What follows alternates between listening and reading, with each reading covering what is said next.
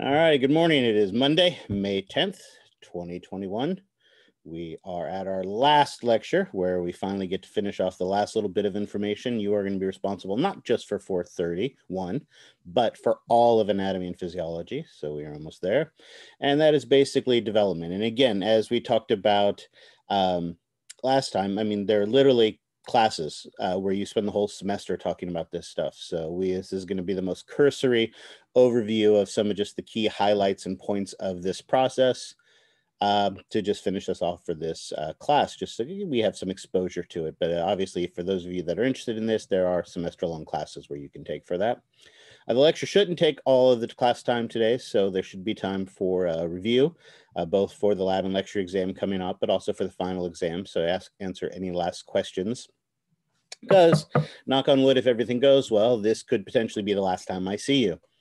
Uh, so, because after this, it's just exams. Uh, Wednesday, uh, in two days, you have your last lab and lecture exam. So, only, hopefully, you took good uh, use of this weekend to study well for that. Uh, you've already taken four of those. Some of you have already taken nine of those. So you know what to expect from that. So that's no surprises. Uh, then on Monday, one week from today, is finals week. So we do not have class on that day. I will be here for the first couple hours to answer any questions. And of course, obviously, you don't have to wait till Monday the 17th to ask me questions. I'm always good at responding to emails.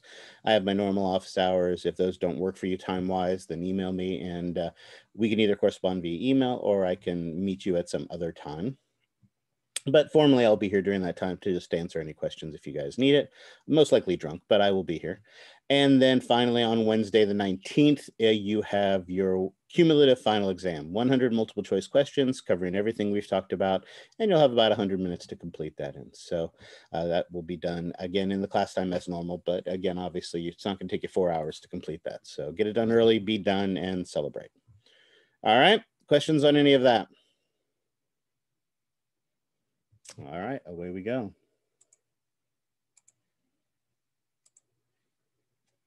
I did have one quick question. Yeah, certainly.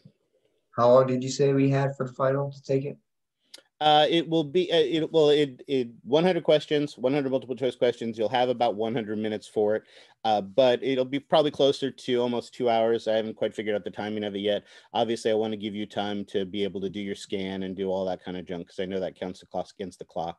Uh, but uh, just like in the classroom you have about two hours to complete the exam and that's about what you'll have. Uh, so somewhere between 100 and 120 minutes will be what it ends up at All right. All right. So as I mentioned, our primary focus is going to be on what we talked about right here. We've led up everything to fertilization. Uh, so we will talk more about fertilization and then the process by which that uh, fertilized egg implants itself into the uterine wall and develops into a baby. Again, as we've talked about, we've spent a fair amount of time discussing how we make those uh, haploid gametes, the spermatozoa and the ova. And we talked about all the things that involve in that. And again, the goal of that process in part is to make uh, two haploid cells with two haploid nuclei that when the egg is fertilized uh, by the sperm is able to become a single diploid cell, which as we talked about becomes the uh, zygote. Right. Again, from the uh, vaginal canal to the ampulla of the uterine tube, right? Because that's basically the journey that the sperm has to take. It has to go from the vaginal canal uh, where it is presented to the ampulla of the uterine tube is a relatively short distance, right? That it has to travel. It doesn't have to go that far. It's only about five inches. Uh, and it can occur relatively quickly. Uh, sperm can travel that distance in as little as three minutes. Uh, for other sperm, it may take as long as several hours for it to reach that stage. So again, there's some variations in the speed of those sperm. Uh, but as we also talked about, it is an incredibly treacherous journey. As we talked about, somewhere on the order of 200 million sperm enter the vagina uh, with the ejaculate. However, of those that enter in the vaginal canal, only about 2 million actually reach the head of the cervix. Members, we talked about that head of the cervix has a mucus plug protecting it and limiting opening uh, to that cervical canal as well. Now, as we mentioned during ovulation, uh, that mucus plug does thin to help to allow sperm to get in. But of those 2 million that actually reach the cervix, only about 10,000 reach the uterine tube. Of course, there are two uterine tubes, and do both of them contain uh, ova uh, or secondary oocytes ready to be fertilized?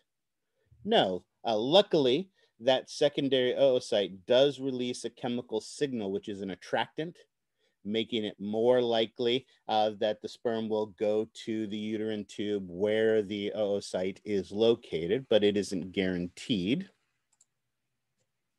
And so, of those 10,000 that reach the uterine tube, only about 200 reach the secondary oocyte. So remember, we talked about a male that produces basically, you know, 100 million sperm per milliliter of ejaculate is essentially infertile, incapable of fertilizing a female on her own. And because of this mass attrition of these because remember also unlike in the movies unlike in the cartoons it's not the first sperm that gets there that wins right as we talked about uh, that egg has a lot of protections on the outer uh, surface and so it takes hundreds of sperms to break down uh, that uh, those protections so that one is finally able to uh, work its way through and fertilize that egg. And so if we can't get the, the spermatozoa there in, in large enough numbers, they're not going to be able to penetrate the defenses and fertilization will not be able to take place. Exactly, there you go. Although you should think it'd be the other way around. Yes, part of the reason why there's such massive attrition is because the spermatozoa won't stop to ask for directions. But you would think that the ones that actually make it there would have the better navigational skills. And so we would all have better navigational skills. And yet, here we are. I love this illustration. I believe it's from your textbook, but it's been such a long time I don't remember now. But I do like about this is that it really shows and gives us an appreciation of the difference of the size uh, between the spermatozoa and the secondary oocyte right? Remember, as we talked about, uh, that secondary oocyte has to have everything uh, necessary. It's got to have the Golgi apparatus, the rough endoplasmic reticulum, the mitochondria, everything that is going to be necessary for this to divide the trillions of times to become a little baby. Whereas that sperm, as we've talked about also, is basically just a chromosomal missile. So the job is to get that, the half of the genetic material there, and that's really all that the male provides to the process. All right. Let's talk about what has to occur before fertilization takes place. Obviously, step one is ovulation. That secondary oocyte is released from the ovary during ovulation and successfully enters into the uterine tube. Again, remember those fimbria are producing that wave-like currents in the uh, serous fluid of the peritoneal cavity helping to draw that secondary oocyte up into the uterine tube. At which point the cilia of those simple columnar epithelial cells help to drive that secondary oocyte about a third of the length of the uterine tube to the ampulla. Wait, can you say that last thing again? I'm sorry? Can you can you repeat that last phrase you said again? Somehow just went in one ear and out the other. That's all right. I wasn't paying any attention either. Uh, I, uh, uh, basically what I said is that the secondary oocyte is ovulated from the ovary. Uh, the fimbria produce wave-like motions in the serous fluid of the peritoneal cavity with the goals of helping to draw it into the uterine tube. And then once into the uterine tube, cilia uh, of those simple columnar epithelial cells and some peristaltic contractions if uh, the female is aroused or has orgasmed uh, can help to draw that egg down towards the ampulla, about a third of the way down there. As we mentioned also, the secondary oocyte is releasing a chemical attractant to help to encourage the sperm to go to the correct uterine tube uh, so that it can find the egg.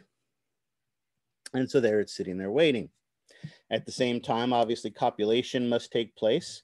Ejaculation takes place into the vaginal canal, and the sperm swim uh, using their uh, flagella uh, to propel themselves forward. Remember also, as we mentioned, if the female orgasms, uh, it can produce a reverse peristalsis of the uterus and the vaginal canal, which can help to draw the sperm up towards uh, that uterine tube. Uh, remember also, uh, we talked about the prostaglandins that are released from the, uh, as part of the components of the ejaculate from the seminal vesicle, can also uh, produce contractions of the uterine tube to help to encourage, uh, pardon me, of the uterus, to help to encourage the sperm uh, up towards the egg. And remember also, as we mentioned, it's not just a race to get to the egg, but remember we also talked about that process of capacitation has to take place, right? Our uh, acrosomal cap that contains the enzymes has to uh, be uh, come fragile and be ready to break and release those enzymes. It has to be ready to make the powerful swimming contractions necessary to break through the defenses. And that can take a bit of time as well.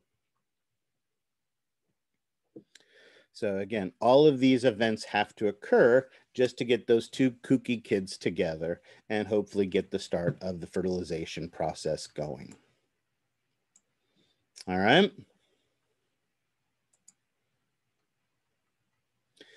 Here we see an example of, uh, I notice fertilization has actually taken place in this, but what's nice about this particular illustration is it reminds us of those protective defenses that we were referring to. Here is our secondary oocyte. And again, we want to be careful because we can see here fertilization has taken place, which has allowed uh, our secondary oocyte to start anaphase. It is in the process of dividing. We know it is already divided once, so we have that first polar body already in there. Uh, but before the uh, egg is fertilized, remember it is frozen in metaphase two. So it hasn't separated these yet, but it is ready to, but we do still have our first polar body. But what I like about this picture is, again, it does a good job of showing us our protective coating. As we've not talked about before, we have our remaining granulosa cells that were in direct contact with the egg itself, that corona radiata, and that glycogen-rich uh, candy-coated shell, that zona pellucida. So these are the two layers of protection uh, that our egg, uh, pardon me, that our sperm is going to have to penetrate through to get to that egg. Our zona pellucida has a very important structure on its outer surface. This illustration doesn't show it, but I'll cheat and go ahead and draw one on here. It has these very important uh, binding sites that are known as the ZP3 receptors. These receptors are actually what the head of the sperm is going to come in contact with, not so that the head of the sperm can penetrate into the egg, but this is going to activate the sperm, basically cause the breaking of that acrosomal cap, which will release the digestive enzymes. And then it also causes the sperm to produce a very vigorous tail whipping structure so that basically it mashes its head into the zona pellucida, digging those digestive enzymes in so that can start to penetrate that barrier and find its way to the plasma membrane of the secondary oocyte. That process of stimulating the release of that enzyme and that whipping of the tail is what we call the acrosomal reaction. So again, the sperm binds to the ZP3 receptor our acrosomal cap, which has become fragile during capacitation, now ruptures, releasing those digestive enzymes. And this, the sperm will vigorously start whipping its, its tail to try to burrow through that, um, that glycogen-rich zona pellucidum. This process uh, typically exhausts the sperm So if it is not able to penetrate through the zona pellucida, basically it runs out of energy, it runs out of fuel, it runs out of resources, and basically degenerates and goes away. But it's put a pit into the defenses that then the next one can come and expand upon. And so, as we talked about, it isn't just the first sperm that gets there that wins. Hundreds of these sperm have to work together to penetrate the defenses until finally one is going to be able to successfully find its way inside.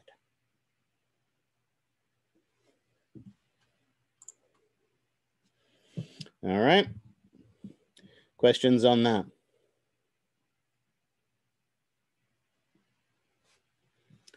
Excellent. Now, even fertilization, right? It isn't the first sperm that gets there. It also isn't even the sperm that actually penetrates the egg. What happens here, and let's cheat a little bit, do some quick drawing. Here is the plasma membrane of our uh, oocyte.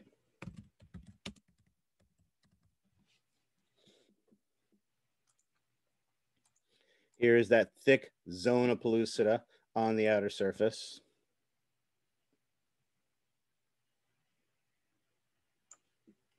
And as we talked about, as our sperm are able to dig the hole and penetrate their way in, oops, I wanted that.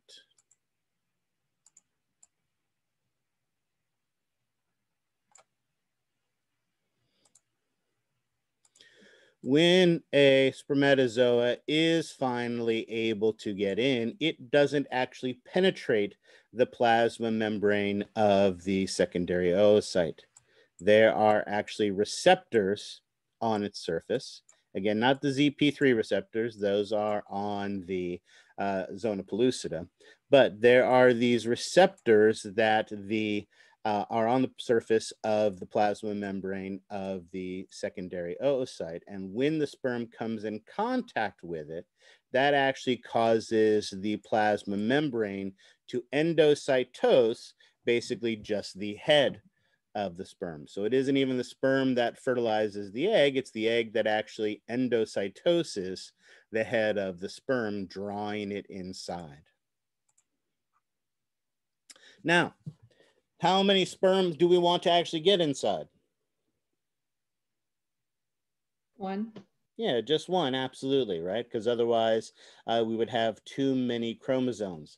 That is our goal. Our goal is to just have one sperm fertilize the one egg, and that process is what we call syngaming. If more than one sperm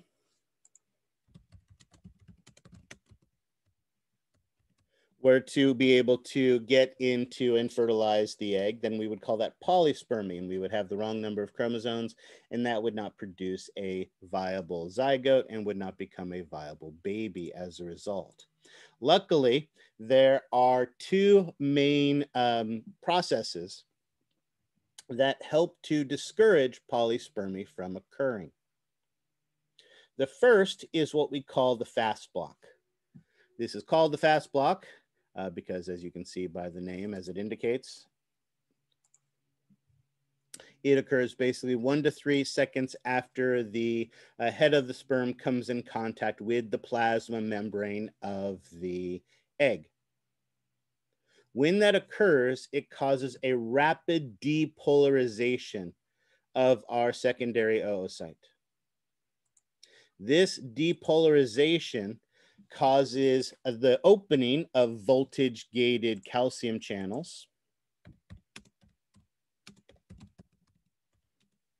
on the endoplasmic reticulum to open. And there's a massive release of calcium into the, uh, sec into the secondary oocyte.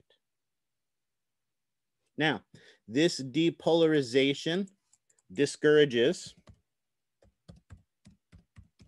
the binding of more sperm to the plasma membrane. So again, if fewer, if no more sperm bind to the plasma membrane, then that is going to help us to uh, ensure that one and only one gets in. But As we also know, calcium makes cells do wonky things.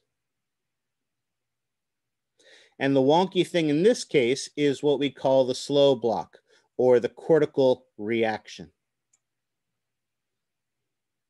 And basically three things occur with this cortical reaction.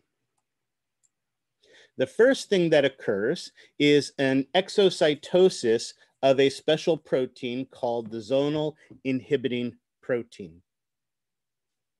As we know, on that zona pellucida, as we talked about on the outer surface, there are those ZP3 receptors. As we said, the head of the sperm binds to them and that bursts their enzymatic cap, that, that uh, acrosomial cap, and it triggers that vigorous uh, uh, uh, swimming action to try to help to penetrate the defenses. Well, what zonal inhibiting proteins does is it inhibits this or inactivates these binding sites.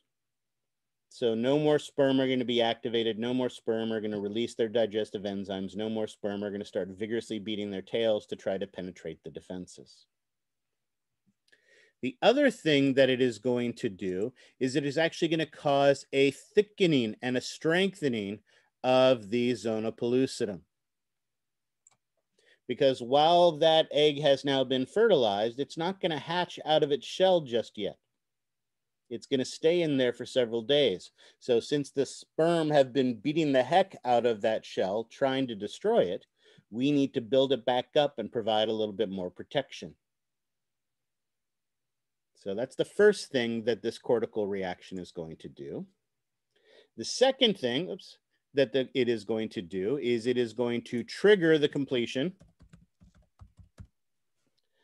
of meiosis two, giving us, of course, as a result of that, our second polar body and our now mature ovum.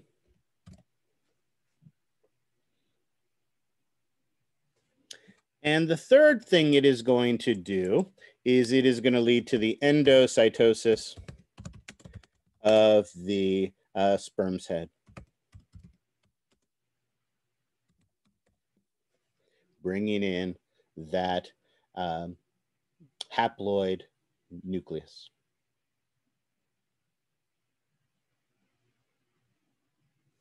I think your book's got a pretty picture that shows this process. Here we go. So notice again, the sperm making contact with that ZP3 receptor, breaking the acrosomial clap, cap, causing that vigorous swimming action to start to penetrate the defenses. Once one finally gets through that zona pellucida, it is able to bind to the receptors on the surface of our uh, plasma membrane for our secondary oocyte that is going to trigger a massive depolarization. That depolarization is going to make it harder for any other sperm's head to bind to it.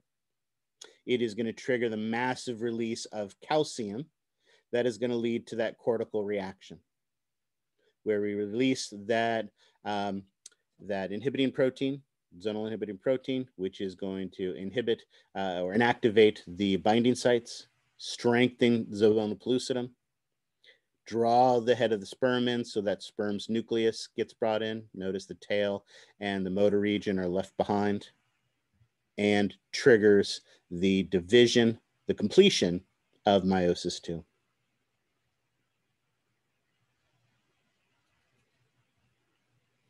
All righty. Are So there a lot of the Z3 receptors or is it like just a few? No, there are massive numbers of ZP3 receptors. Absolutely.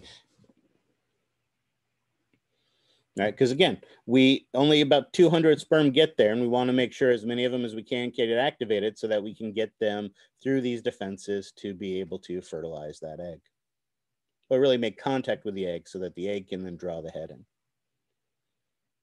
Right, again, fertilizing the egg makes it sound like it's an active process of the sperm. It's really not. The active process of the sperm is to come in contact with the plasma membrane. Then the egg actively draws the nucleus inside. All right.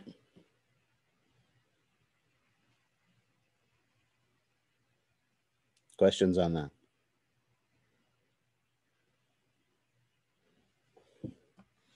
All right. So again, this is the real process. Shockingly, right? The most uh, probably viewed version of this, right? Look who's talking, right? It was absolutely incorrect in the way that it, it described this process. All right. I don't know of you get that reference either. I don't care. Excellent. So here's the end result. We end up here with that ovum that has the head of the sperm, or really the nuclear region of the sperm, that nucleus come in, what we call those pronuclei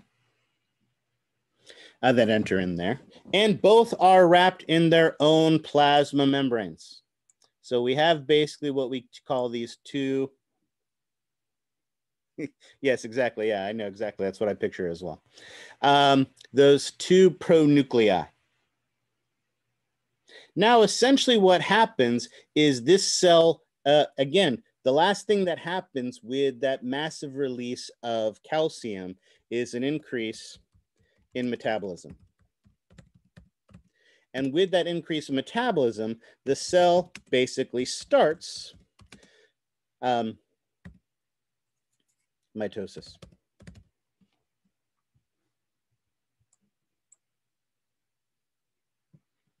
With this, what's going to happen is we have to start to get a breakdown of the, oops, let's change a different color, of the nuclear envelopes from these. And as we get this breakdown of the nuclear envelopes from these, then finally, our chromosomes are able to come together. And when our chromosomes come together, we end up finally with a diploid cell.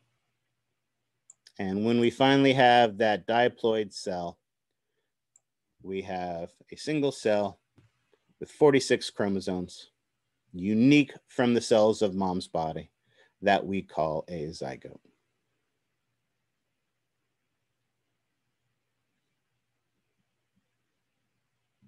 And now that zygote can start the division process. Here's a great pretty picture showing this. Again, notice as uh, the sperm makes contact with the plasma membrane of the egg, we get uh, the triggering of that acrosomal reaction, thickening of the zona pellucida, right? Uh, a release of the zona inhibiting protein. But what we care about right now is that completion of meiosis two. We have our secondary oocyte dividing to form our ovum and our second polar body. Notice our first polar body is also undergoing division. So we end up with the four cells that we expect from the completion of meiosis one and meiosis two, but uneven division. Three polar bodies that just contain genetic material and pretty much nothing else. But notice they're still trapped inside of the zona pellucida. And as I said, basically these nucleic acids are going to be broken down and used as resources for the rapid division that is going to need to take place. Those two pronuclei start to come together. Uh, they replicate their DNA. Our second centrosome forms. We start to get the breaking down of the nuclear envelopes, right? Basically, we enter prophase well, we actually have to interphase and prophase because interphase is necessary for uh, the division of, I mean, for the replication of our genetic material. And then we start prophase. And at that point, as the nuclear envelopes break down, we now consider this to be a single cell with 46 chromosomes. And at this stage in prophase of mitosis, we now have our zygote.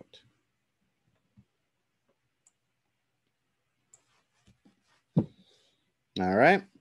Questions on that? So it completes meiosis two and then does mitosis again?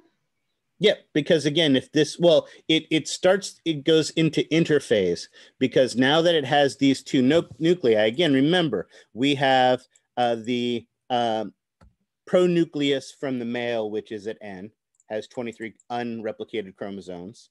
And the after the uh, after meiosis two, our ovum has 23 unreplicated chromosomes as well.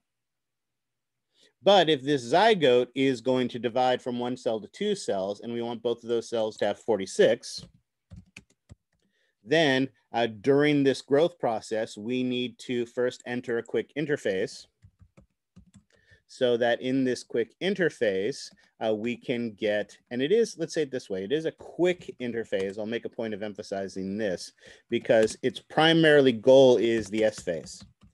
In S phase, we are going to replicate the genetic material. So this one is 2N. Uh, pardon me, this one is uh, not 2N. Oops. This one is NR. This one is NR. So when they come together as a zygote, they're 2NR, 46 chromosomes that are replicated, ready for mitosis to take place. Now I mentioned a quick interphase because normally if we think about interphase, the longest section of interphase is G1. G1 is when it's replicating all of the uh, cytoplasm, making all of the organelles, making more mitochondria, and the cell grows massively bigger.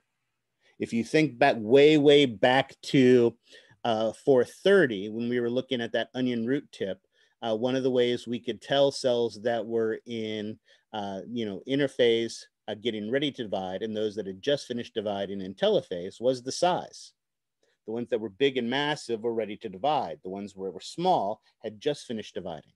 So part of that process is getting bigger so that when the cell divides, there's plenty of cytoplasm to share with both of them. However, this one's stuck inside the candy coated shell. Is there going to be a lot of room for it to grow and expand inside of that? No. So in this case, it isn't so much about caring about the cell getting bigger. It's about making sure we have enough genetic material. So by replicating the DNA in S phase, then one cell can divide to become two cells.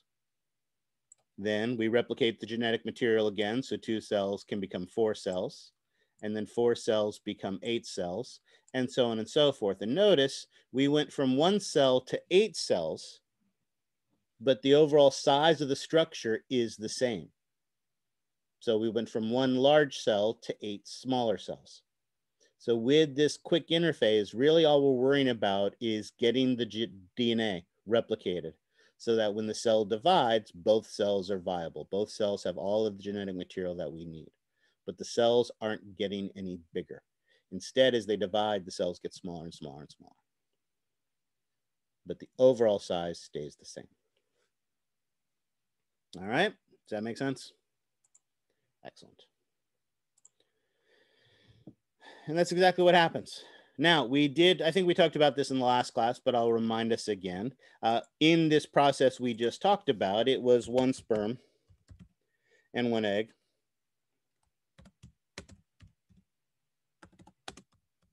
And we get one baby. But there are times when we get two babies, and we call those twins but there are differences between monozygotic and dizygotic, or what are also known as fraternal twins. And what's the difference here? Genetic um, similarity. Why? You're absolutely 100% correct, but why is there is why is that different? How many eggs, how many sperm? Excellent. With a monozygotic twins, how many eggs and sperm? one egg, one sperm. They split. Exactly. Typically, as we talked about, this is going to uh, divide to become two cells, and two become four, and four become eight, and eight become 16, and so on and so forth until they become one person. But what happens with monozygotic twins is while it's a bundle of cells, those cells actually separate to form two bundles of cells. And then those two bundles of cells divide to become two uh, genetically identical individuals. Now, usually that occurs early enough in the process where they complete individuals. However, if that division occurs later, then they can still actually be partially connected and actually can share organs or attachments. And what do we call that when that occurs? Conjoined twins. Yeah, we call that conjoined twins. Absolutely. So if that if that division doesn't occur completely, or that division occurs later in the process, uh, they can actually still be conjoined, right? As you guys mentioned, with dizygotic, this is an instance where the female releases two eggs. Uh, dizygotic twins tend to run in families uh, not surprisingly from the maternal side, because what happens is the females are more likely to release two eggs during an ovulation. And so when that occurs, each egg is fertilized in individually.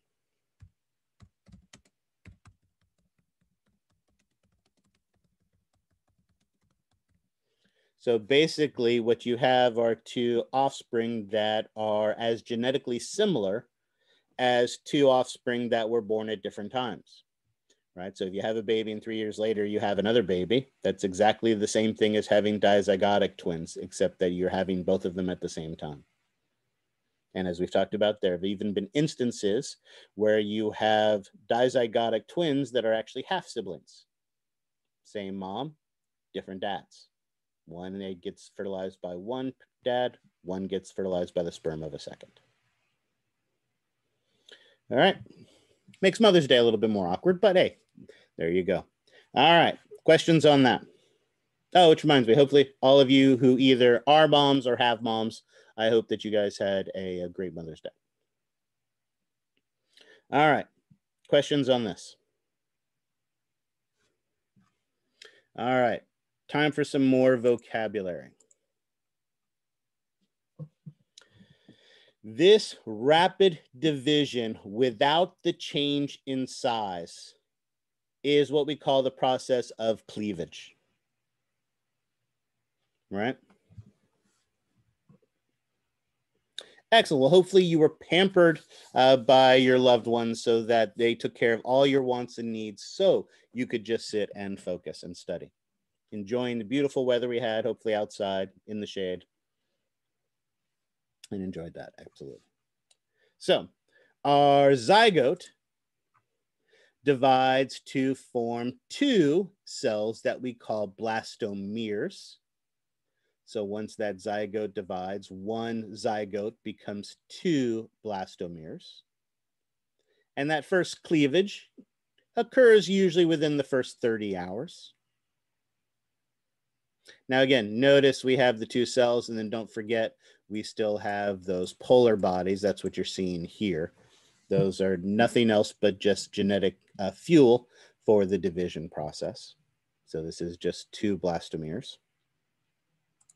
The second division, which gives us four cells, typically occurs uh, by the second day. By day three, we get a bundle of solid bundle of cells of about 16 cells called a morula. And then by day four, we have a solid ball of about 100 cells.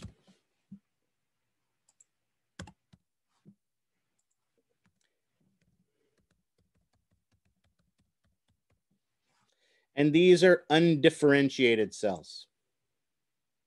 What I mean by that is if I were to take this cell and this cell, and pluck them off and switch their positions and put them back together? Would this individual have toes where their fingers are and fingers where their toes are if I did that? No. Right. So as we, if we, these cells are completely undifferentiated at this point. It's just a solid ball, massive cells, and it doesn't matter how I were to twist and turn them basically they all have the potential to become anything that they want to be and there isn't any differentiation to them i make a point of emphasizing this because as we go from day four to day five it looks the same on the outer surface but we are finally getting some major changes that are going on on the inside And it is at about this stage, about day four or five, And remember also, we could set it can take as long as seven days for that rapidly dividing fertilized bundle of cells, basically this embryo, to make its way to the uterus. Remember, this whole time it is being propelled by peristalsis.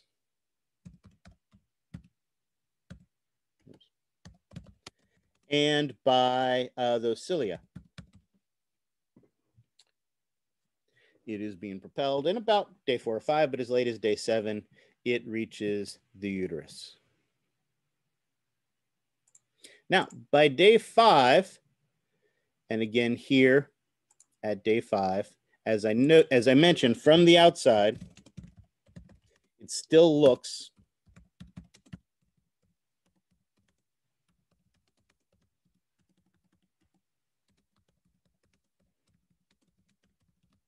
still looks like a solid ball of cells. But notice if we cut it in half, now we actually see that some differentiation has occurred.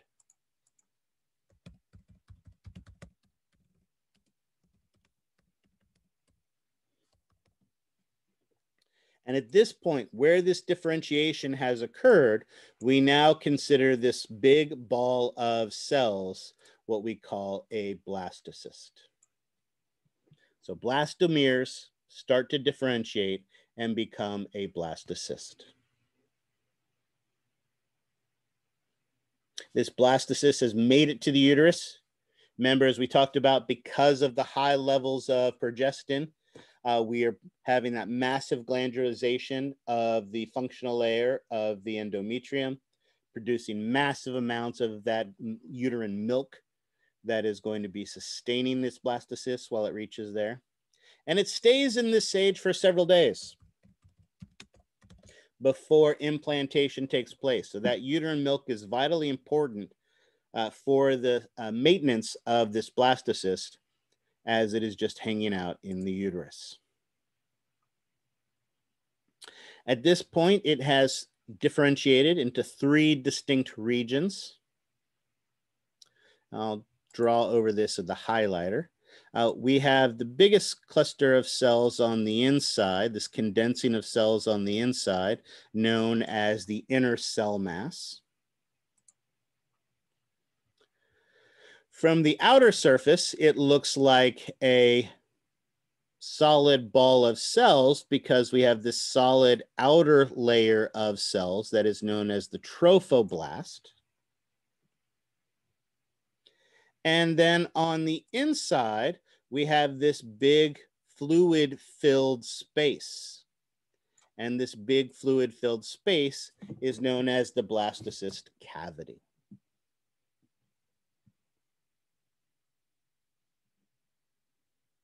So here, finally with our blastocyst stage, they're not just cell cells anymore. They're starting to differentiate. They're starting to become different components.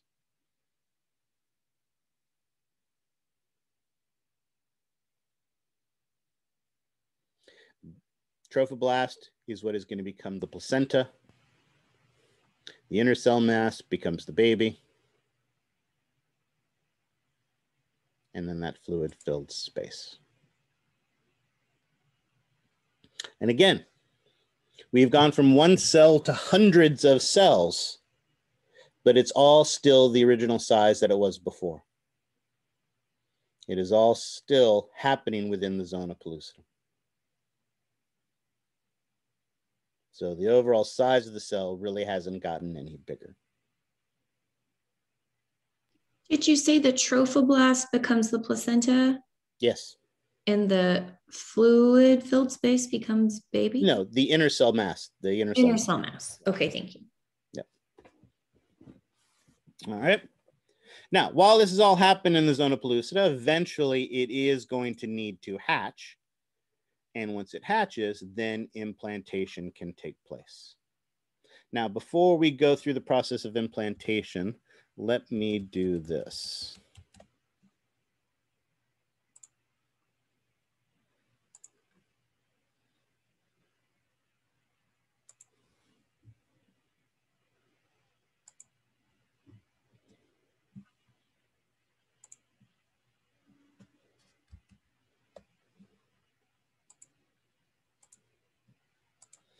Again, I found this one quickly myself. I'm sure you can find better examples of this, uh, but when you go to the almighty um, YouTube,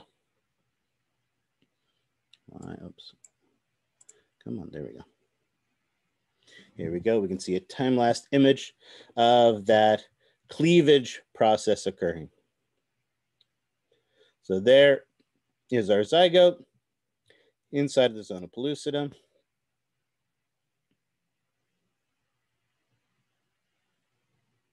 And that one zygote becomes two blastomeres. Two become four. Four become eight.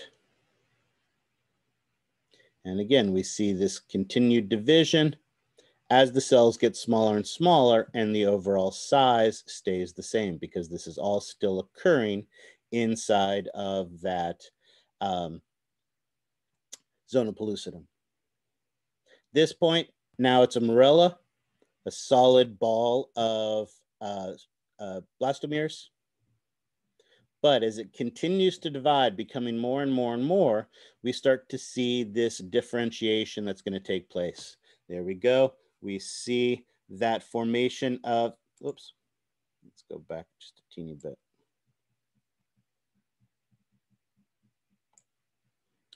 So we can see the inner cell mass that is formed. We can see the uh, trophoblast that is formed on the outer center. And then there is that uh, blastocyst cavity that is occurring here. And if you noticed, I just went back from it, we actually see the hatching of this uh, blastocyst out of that zona pellucida finally. So as we watch, it bursts through that zona pellucida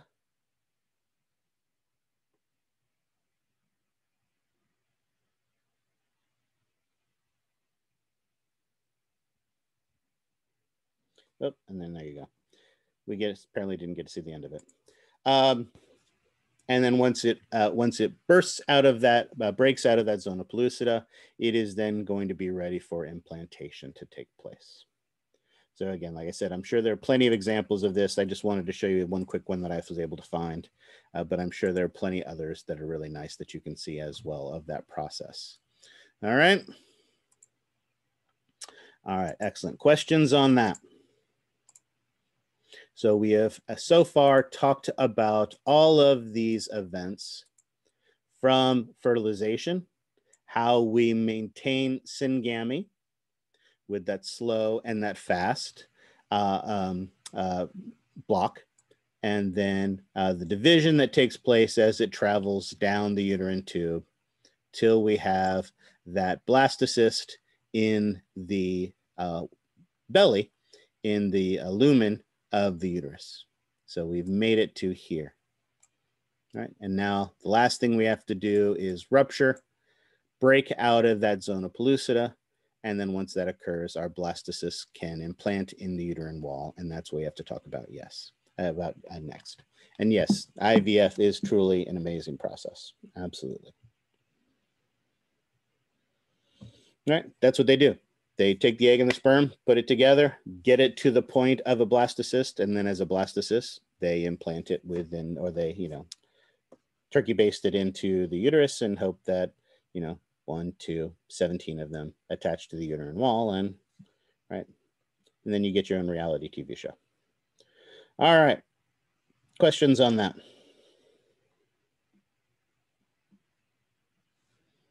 All right, then let's briefly talk about the process of implantation. Like I said, after a day or two inside of the lumina of the uterus, our blastocyst hatch and remains floating around inside the uh, uterus. And like I said, got there about day five, takes about two days for it to implant. So usually about seven to 10 days after fertilization takes place. Although again, Remember, we're dealing with this tricky common core math. So we are talking seven to 10 days after fertilization. But remember, after fertilization takes place, because we count the age of the baby from first men I mean from the last menses, technically it is already right 21 to um, 24 days old. And we'll put that in quotes. Because again, we're dealing with that common core type math here because we count the age from last menses, the beginning of the last menses. But regardless of how old we want to call this blastocyst, the goal of it is to Im implant into the functional layer of the endometrium.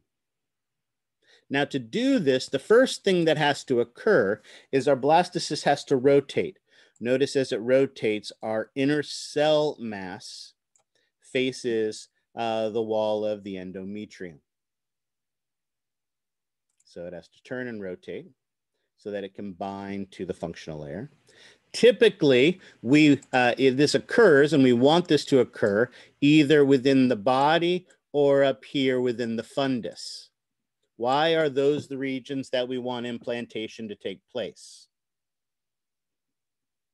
Otherwise, the placenta might be over the cervical opening. Exactly. If it if it if it implants too close to the cervix, then as the placenta forms, that placenta can actually partially or completely cover the cervical opening. Obviously, are you going to be able to have a normal vaginal birth if the placenta is over the top of the cervix? No, right? Because it's in the way of the baby getting out. But even more than that, the other risk that occurs is at late stage during pregnancy as that uh, cervical canal dilates. That dilation of the cervix can actually cause a tearing or a rupturing of the placenta, which can lead to massive bleeding. So, when that occurs, and it is luckily something that can be identified uh, with the uh, ultrasound, uh, if that is indeed the case, then typically what happens is the, the female is uh, uh, uh not induced, but is uh, scheduled for cesarean, typically relatively early and definitely in the late stage is either bedridden or uh, is closely, closely monitored during the late stages of pregnancy. And then as soon as the baby is, is able to, then it is removed with a cesarean section to protect both mom and the baby. All right, excellent.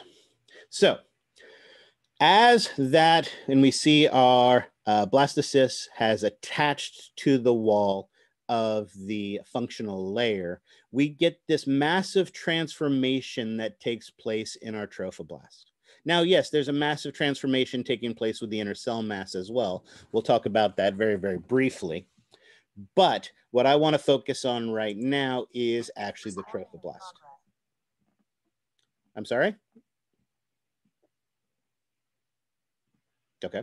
Um, a portion of the trophoblast basically stays that shell, that outer layer of this developing structure. And that portion that stays the shell, helps to form the boundaries of this, is what we call the cytotrophoblast.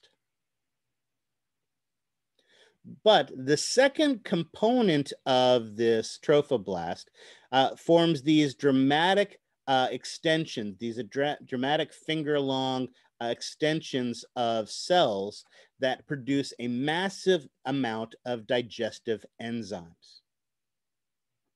And this region is called the syncytiotrophoblast, which, as I mentioned, I guarantee you is a term you're going to have to spell at one point or another on the exam.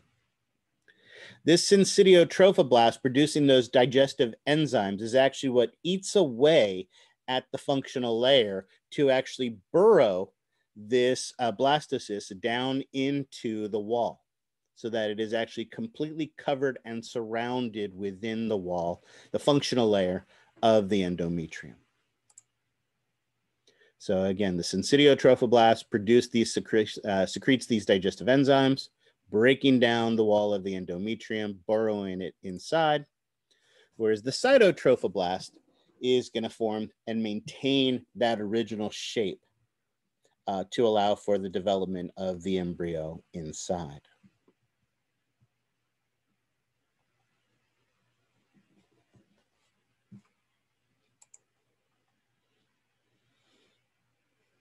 Here, we see that process, these long extensions of the syncytiotrophoblast as it is penetrating down in, digesting away the layers of the endometrium. until at about day 12, it is completely embedded uh, within the functional layer. And I have a great picture that'll show this in just a minute.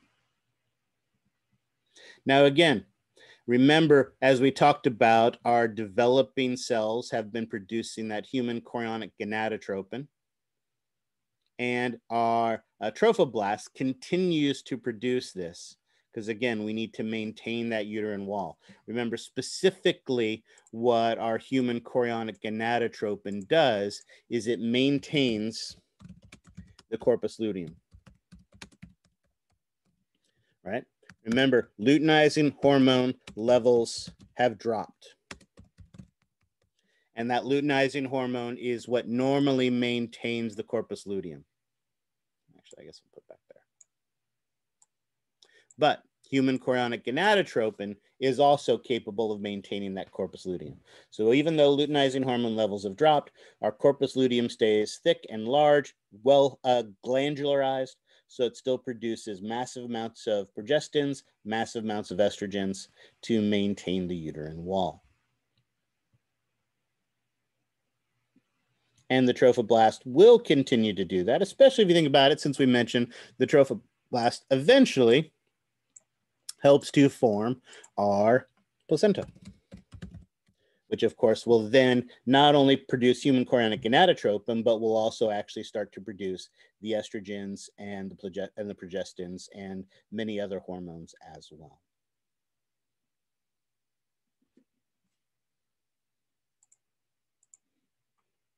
Now, I did mention that the trophoblast becomes the placenta, but in fairness, it only becomes part of the placenta. Here we see that process of implantation. Again, that syncytiotrophoblast is releasing that digestive enzymes that is breaking down the wall of the endometrium. Our cytotrophoblast is still maintaining the shape and the structure of the blastocyst as it is penetrating inside. Notice there's massive changes going on with our inner cell mass, which we'll talk about uh, in just a minute. Here we see the massive changes that are taking place in there. But what I want to actually talk about instead is what's going on out here with the syncytiotrophoblast. Yes, the syncytiotrophoblast is uh, massively digesting the walls of the endometrium. But as we know, those walls not only are heavily glandularized, but they are also heavily vascularized as well.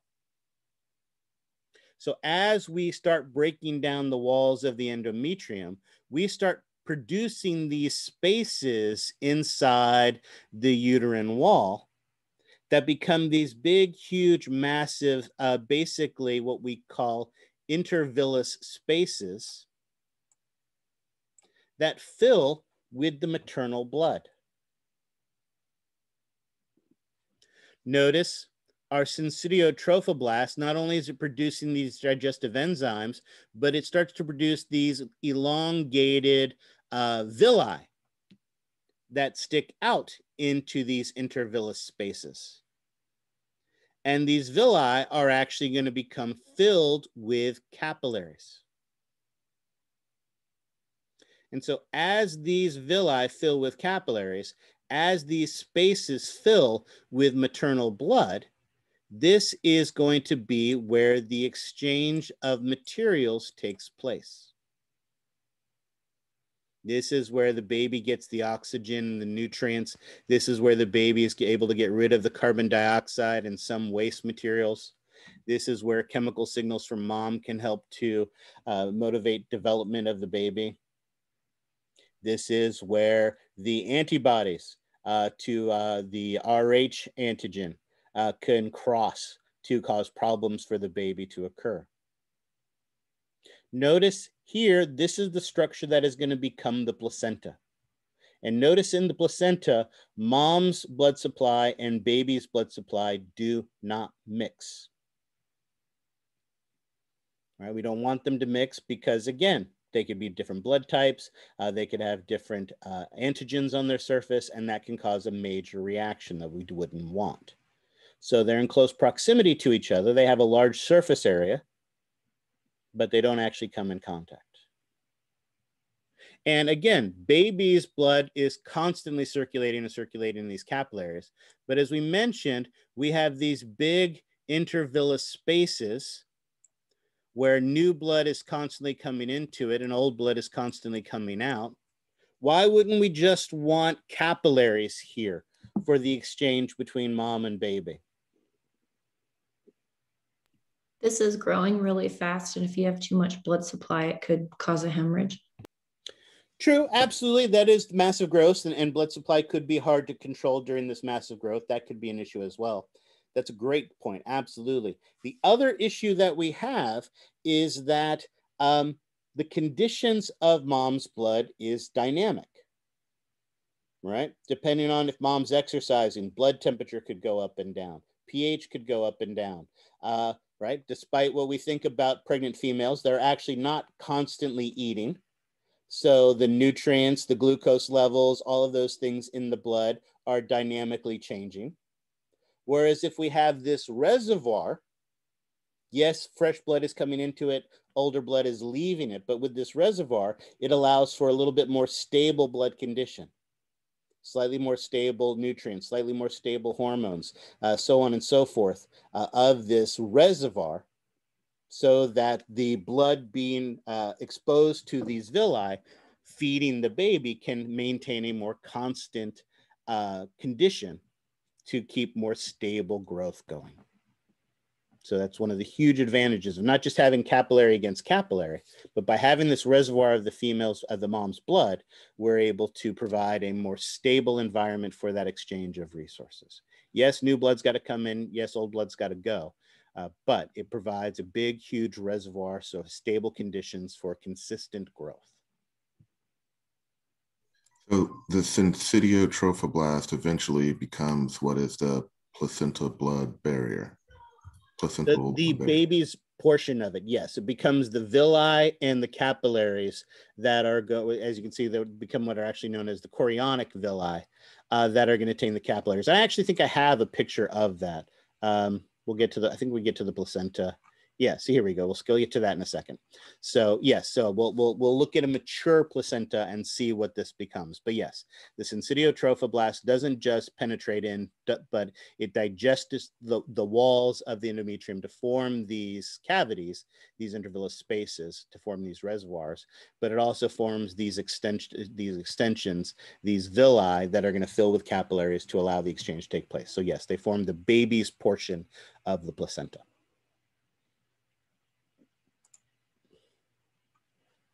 Before we take a look at that mature placenta, again, I do want to talk a teeny bit about what's happening with that inner cell mass. Again, this is a complete disservice to the entire process because it's a massive, massive, elaborate process. But like I said, we could literally spend the whole semester talking about this stuff. So just uh, the one point that I want to make is one of the things starting way back in 430 we talked about are some of the different types of embryonic cells those embryonic stem cells uh, that cause the development of different types of tissues. So for instance we talked about how the endoderm uh, that forms. There's basically three embryonic layers that form in that inner cell mass. Uh, one is the endoderm that basically becomes the epithelium of the gastrointestinal tract and the respiratory tract. We have our mesoderm uh, which produces the muscle cells, bone cells, and all of the other connective tissues. Right, those are the ones that become the mesenchymal cells that we talked about that produce all the cells associated with connective tissues. And we have the ectoderm, uh, which is what produces the nervous tissue. Again, we talked about in 430 briefly how that nervous tissue starts as a plate and then forms a crest, rolls up into a tube, forms those ventricles that we call the cephalons right? And then also form our epidermis as well. So we have these three main layers of embryonic tissues that form that develop into the different parts of the baby. And like I said, this process is gastrulation, uh, organization, system development, neurulation, formation of the nervous tissue. We talked about it a little bit in 430. And like I said, you could spend a whole semester talking about it. So I'm not even going to touch on it other than give the vocabulary here. All right. Lastly, here we see that placenta. Here's the mature placenta. And again, notice as we look at the anatomy of it, the blood supplies do not cross. Basically, we have these chorionic villi that were formed by the syncytial trophoblast and contain the capillaries of the baby. And here we have the big intervillous sinuses, this big blood-filled space where we can see, again, arteries are constantly bringing fresh blood into, veins are constantly draining blood away from it, at making, maintaining this reservoir of blood where then our gas, a gas exchange, nutrient exchange, waste exchange can take place between mom and baby. Obviously, it is systemic arteries that bring the blood to the placenta for the female and systemic veins that bring it away. We have, oops, didn't mean to do that. What did I just do? There we go. That's what I wanted to do. So again, forms by the third month. Baby trophoblast forms that chorionic villi, functional layer, intervillous spaces. We did and talked about all of that. And again, this is where the exchange of most of the materials take place. Uh, diffusion of oxygen, nutrients, uh, carbon dioxide uh, from the baby to mom. Some wastes are released this way, especially things like carbon, uh, carbon dioxide, things along those lines. But why not all wastes? Where do the other wastes go? Do babies just not care about wastes? Don't they go into the amniotic fluid? Yeah, amniotic fluid, which is a very, very fancy and, and technical sounding term for what? Egg white. not a bad guess. Nope, not uh, even worse than that. What is amniotic fluid? Why is it so important for the doctors to monitor the volume of amniotic fluid? Why is amniotic fluid so vitally important? Uh, As the nutrients? I'm sorry? Has the nutrients? No, it doesn't have nutrients. In fact, it has the opposite. It's mostly wastes. isn't it constantly? Isn't it constantly circulating through the baby's GI tract? True, that is true as well. It is cycling through there, which, but again, not serving much of a major portion there. Maybe it helps if I point out that it is mostly uh, water and nitrogen based wastes. ABP. It's baby pee, exactly. Amniotic fluid, right? So many of the waste are exchanged in the blood, but much of it is also being released from those fully functional kidneys. Those kidneys and the urinary system of the baby is fully functioning. And again, we want there to be a large amount of amniotic fluid because, well, not large, but an appropriate amount of amniotic fluid because that means that the baby's kidneys are working properly. If amniotic fluid levels are low, they're going to take a much closer look with the ultrasound at the baby's kidneys and more importantly at the bladder uh, to see if it's filling properly, if it's releasing properly to make sure that there aren't any problems that way. So yeah, so actually that amniotic fluid uh, that, as you pointed out, does cycle through the baby's digestive system as it floats around in there, right? That is what's released when the water breaks and all of that. That's baby pee pee. So there you go. So again, we have that exchange of some materials that are most materials are being uh, taken place of here. Again, we've got that storage of nutrients and hormones, so we get a more consistent release to the baby for more uh, uh, uh, regulated and stable growth. But we do get that effective barrier. Mom's blood and baby's blood do not come in contact with each other through the placenta. Of course, that placenta has to be released uh, at, during the process of um, uh, parturition, labor, and delivery, uh, and is typically referred to as the afterbirth. Here, we actually see an actual placenta. Uh, so again, one of the things that the doctor is looking for when that placenta is delivered is to make sure it was complete and intact so that no portions are left behind. As we know, it is a very well vascularized structure. So if it is not, if it is um, not intact, that could increase the likelihood of bleeding occurring in the female. The other thing, as we mentioned, is placenta is basically a major hormonal gland. So if portion of the placenta stays behind, even if it's not um, uh, causing massive bleeding, uh, the hormones produced by those cells can disrupt mom's ability to recover from the pregnancy, mom's ability to produce milk, and things along those lines. Of course, the placenta connects to the baby via the umbilical cord. Here we see an umbilical cord surrounded by its fibrous connective tissue. Inside of it are not one, but two arteries and one vein. So there are actually three blood vessels uh, here in the placenta. And as we think about it, as we know, arteries, how do we define arteries again? They go away from the heart. And uh, uh, veins Or the, towards the heart. So in our baby, those oops, veins that are going towards the heart, what is the condition of their blood? the veins are oxygen rich. Yeah, so because they're getting the oxygen from mom, they're going to be oxygen rich. Whoops. And so that means our arteries are oxygen poor. Excellent. Uh, where do these oxygen rich veins go?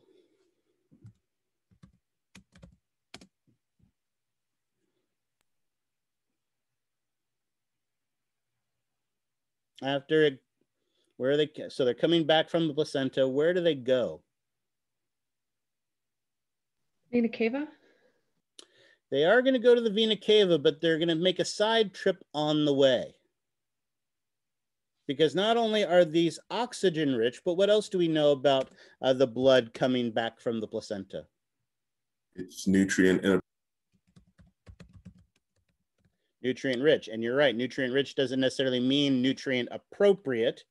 So, where does it need to go first before we can distribute it throughout the body? There tiny baby liver. to the liver. Absolutely. And as we talked about, when that umbilical cord is cut on the outside, it shrivels up and becomes the belly button. But the portion of that umbilical cord on the inside shrivels up and becomes what?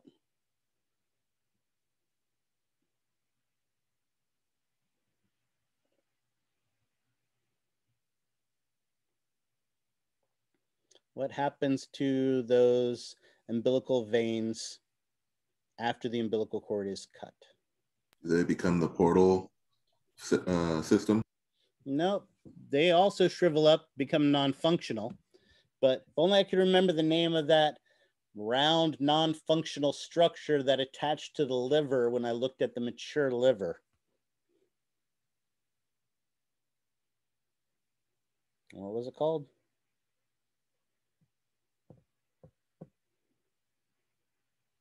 This is a cumulative class, right? Digestion was one of the sections we covered in this. I have the picture in my head. Yeah, well, The so what round, was- li- round ligament? There you go, lig- ligamentum teres, the round ligament. Absolutely, that round ligament that connected to the liver, right, is what remains of those. So when you cut the umbilical cord on the outside, right, that vein carrying the blood to the liver shrivels up and becomes the ligamentum teres. The arteries actually come off of the in, uh, internal iliac to go to the uh, inform those, and so those shrivel up as well into something that we don't have to worry about. But that ligamentum teres was something we talked about for that vein. Excellent. So, like I said, uh, waste typically carried to, nutrients carried away from the placenta, and oxygen, making these arteries and veins more like the pulmonary ones, which makes sense. Pulmonary ones are where we get the oxygen. Uh, here, the placental ones are where we get the oxygen. So it's not surprising it's a little bit backwards. So if mom and baby's blood is not mixing Yep. in the placenta, how are they doing these blood tests now that they're ta- they're testing maternal blood for fetal DNA, like for the sex and whatnot? When a couple of the stem cells cross the barrier and can end up in the systemic um, blood flow of the mother? That would be my guess. I mean, as we talked about, obviously the placenta is a little bit leaky. We do have that concern of, for instance, the uh, the anti-RH antibodies sneaking its way across. So my guess is that it wouldn't be surprising if something from the baby uh, switches out. Obviously, it would require a very sensitive test to be able to do that. And, I, and again, this isn't my area of expertise, but uh, uh, not, and I wasn't aware of that process. But it seems reasonable that that you may get enough, you know, uh, not necessarily enough to cause a uh, a, a um, an immune reaction, but potentially enough that maybe it could be identified that way. But yeah, usually they, you know, it requires amniotic fluid for a lot of those things, but it wouldn't surprise me if there was enough leakage where you could get it from the female. I mean, from the from the mom's blood. But no, I was not aware of that. So I'm totally guessing. All right. Excellent.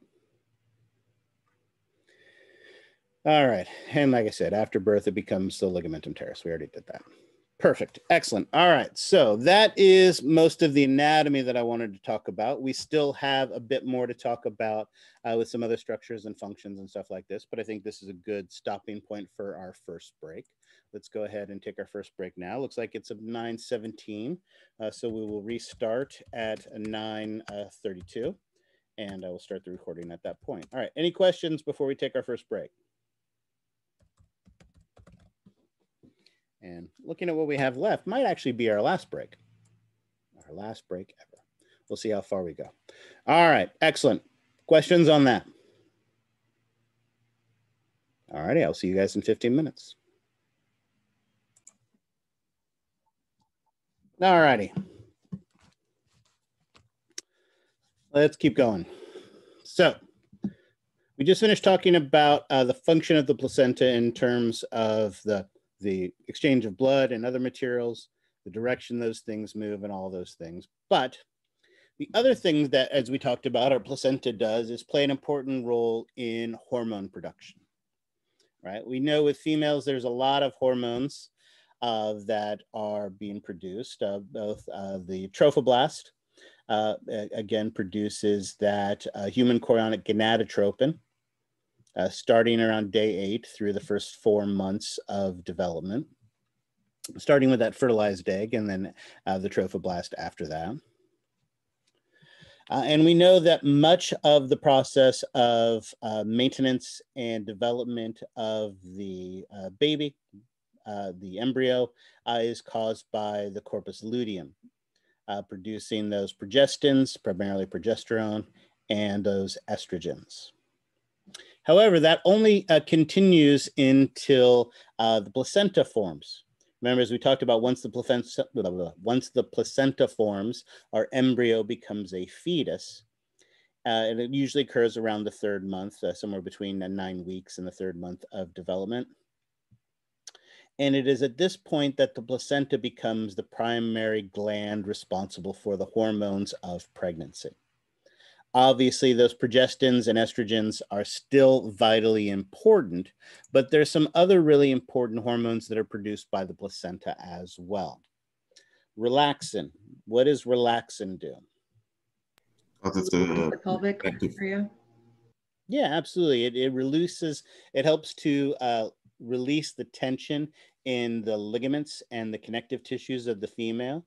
Uh, this allows for the accommodation uh, and the movement of the mesenteries and the organs of the abdominal pelvic cavity to allow for the expansion of the uterus and the baby uh, so that basketball can grow inside of mom.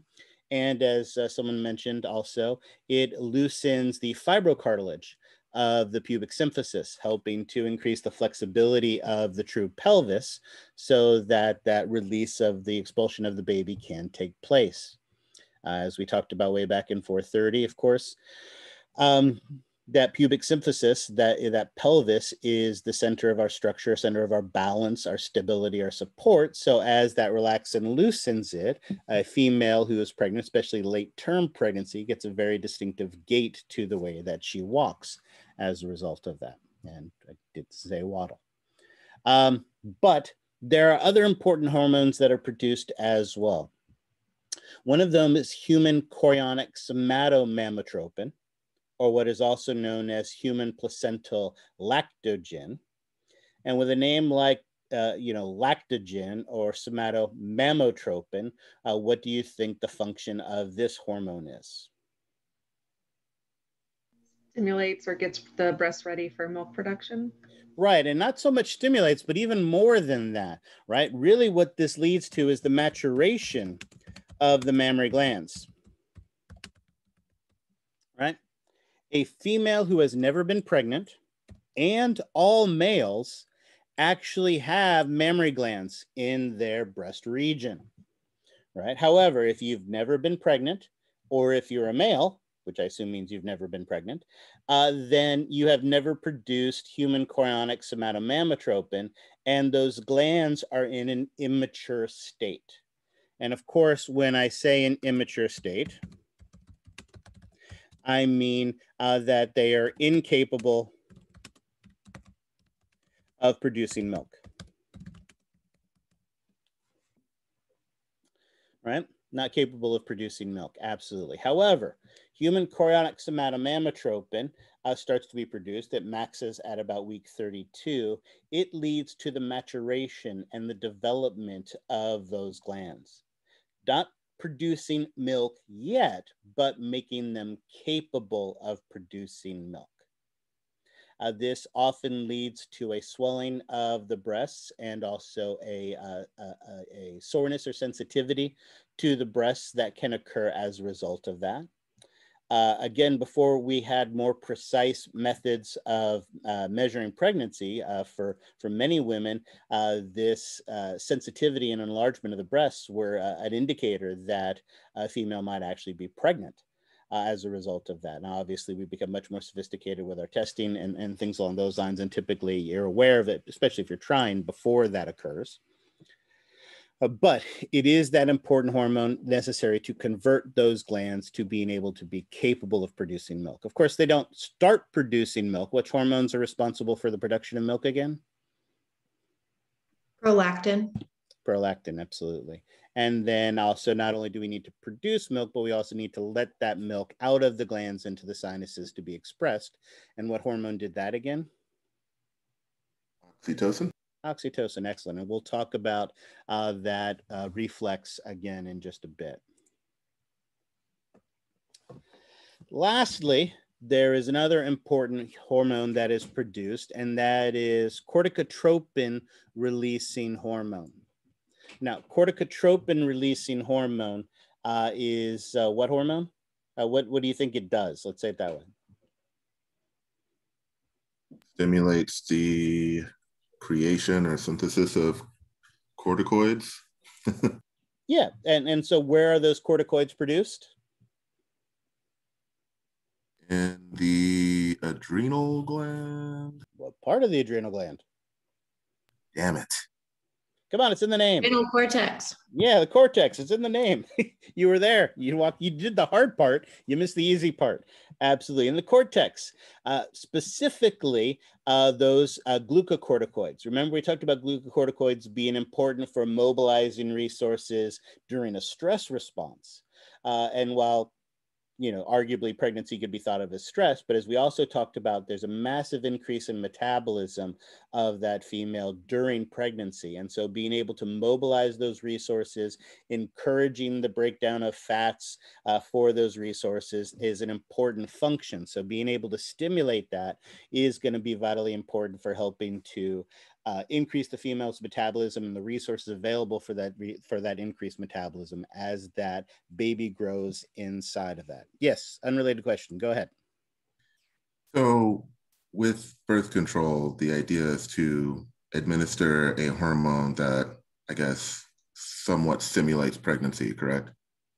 Uh, essentially, yes. Although, in, in particular, and like I said, if, if you think back to it, the earliest and most simplest form of birth control for a female was progestin pills right? They would take progesterone as a supplement because as we know progesterone uh, encourages uh, the maintenance of the uterine wall. So uh, so menstruation does not occur.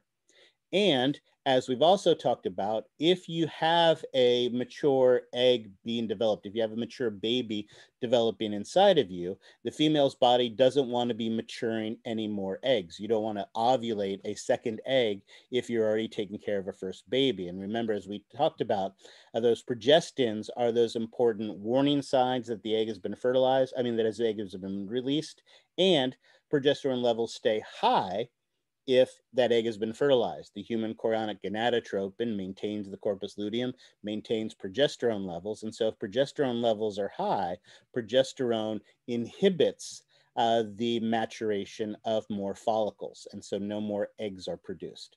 So uh, the the I would say I would argue that the maintenance of the uterine wall is really more of a side effect of the birth control pills.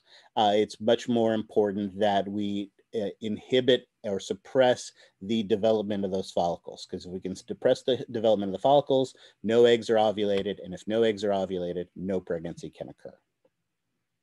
Because I was going to ask if um, if it stimulates pregnancy, then how come it doesn't increase metabolism, or rather, why is a side effect of birth control sometimes weight gain? But based on your answer, it sounds like it's only one part of the entire hormonal equation that leads to increased metabolism. Right. Yeah. And and although, like like you also mentioned, if it is stimulating uh, the again, it's kind of like when we talked about with stress, right? When uh, the stress reflexes were formed, we really stress was to deal with life or death situations right? Now stress is that 10 page paper you have due on friday or stress is that lab and lecture exam you have on wednesday. And how do you deal with stress now? Well you sit at a typewriter and you type for those 10 pages or you stare at your textbook or your flashcards for hours on end right? The stress stress is mobilizing those resources in our body and we're not using them. And so the same thing could be happening with those uh, with those birth control pills. Uh, you may be mobilizing the resources for the increased metabolism, but since no baby's uh, developing inside of you, you don't have that increased metabolism. And so all those excess resources are being released uh, and then have to be stored as fat as a result of it. Right. Uh, the maturation of the mammary glands is also uh, a side effect, potential side effect of, uh, of taking birth control. So often you can see an enlargement of the breasts as a result of taking birth control pills. Um, yeah, but again, those were the earlier forms of those. And again, the, the simplest forms of those. As Allison points out, uh, we have gotten much more sophisticated in our targeting, and our birth control pills are now far more uh, precise in the goal of being able to right disrupt uh, both either the well quite frankly either the uh, fertilization or the um, or the uh, maintenance of that oocyte or the implantation of it. Yep. And so, yes, so typically those types of side effects are much more, uh, less common, much less common. Excellent. All right, spectacular. Oh, we got sidetracked. And, and, again, and I love the question, so don't get me wrong that way. But uh, what I wanted to say, the other important thing about corticotropin releasing hormone is uh, that the levels of that will actually start to increase near the end and can actually play an important role in the triggering of parturition, of the triggering of labor. So corticotropin releasing hormones will actually play an important part in that. And that's actually what I wanted to talk about now. It's actually uh, a lot of this labor is driven by hormone changes. So uh, let's actually, we'll do it here and then we'll go back to the picture. Let's do it this way just in case, because I may have the picture here. I don't remember. So uh, notice, actually, let's go back just to make sure. As we know, progesterone levels, as we talked about how are so vitally important early on during the pregnancy, maintaining of the uterus, uh, maintaining of all of those things. But notice as we get later in the process, progesterone levels start to not decline, but become less than estrogen levels. Estrogen levels actually start to spike. And this combination of the spiking of estrogen le levels and this tapering off of progesterone, progesterone levels are one of the major triggers uh, for parturition to take place. So again, uh, we have uh, that rise in estrogen levels As I just finished mentioning, corticotropin releasing hormone levels also rise. And our progesterone levels taper off. These changes in our hormone levels lead to a contraction of the uterine wall. And assuming that the baby is fairly uh, baked, it should be face down, head down uh, towards the cervix. And so as that contraction begins, baby's head is pushed against the uh, wall of the cervix. Right. Placenta also produces prostaglandins, which remember were also found in the semen and cause uterine contractions. It's one of the reasons why we talked about you have to be very careful about having uh, intercourse close to in, in late stage pregnancy because the prostaglandins of the semen can trigger these uterine contractions. And as the uterus contracts, that triggers a stretch, right? The, the force of the baby's head against the cervix uh, causes a stretch. And that stretch sends a signal to the hypothalamus. And that hypothalamus causes the posterior pituitary to release oxytocin. Oxytocin, of course, causes uterine contractions, making the placenta, pardon me, making the uterus contract even more, causing it to stretch even more, causing a bigger signal being sent to the hypothalamus. And as we talked about, this triggers that positive feedback process. And that positive feedback process is going to cause an enhancement of that disturbance, an enhancement of the amount of oxytocin, an enhancement in the strength of the contractions. Right? Again, normally we need to think of feedback processes as canceling a disturbance to bring it back into balance. But in this case, we're enhancing the disturbances. The disturbances are getting bigger. But remember, our goal is still the same. Our goal is to reestablish homeostasis. So our contractions become more and more powerful, more and more oxytocin is released, right? More and more uh, strength is being put into it until baby is expulsed, right? At which point mom's body is back in homeostasis. Life is no longer in homeostasis, but mom's body is back in homeostasis. And that is that goal of the positive feedback process. So we do want to reestablish that homeostasis, uh, but we do it in this case by enhancing those processes with that positive feedback. Now, there's a little bit more to labor than that. It isn't just about the contractions and the pushing. There's actually three phases or stages to parturition, or, uh, well, again, Mom's body's back in homeostasis, but like I said, life is not, absolutely. The first is dilation. Well, I don't have a ruler here handy. Usually this is when I grab the yardstick. As we talked about, that cervix has a very uh, narrow opening with that mucus plug to limit uh, the, the uh, movement of any foreign abnormal pathogens, things like that, into the open uh, uh, abdominal pelvic cavity of that open reproductive tract. But that cervix uh, starts to both efface, which becomes more loose, more flexible, but also dilates as well to allow that basketball to pass through it. And what is the massive diameter of this cervix when it is ready to release the baby out? Two feet, two and a half feet. What is the diameter of that cervix? 10 centimeters. 10 feet?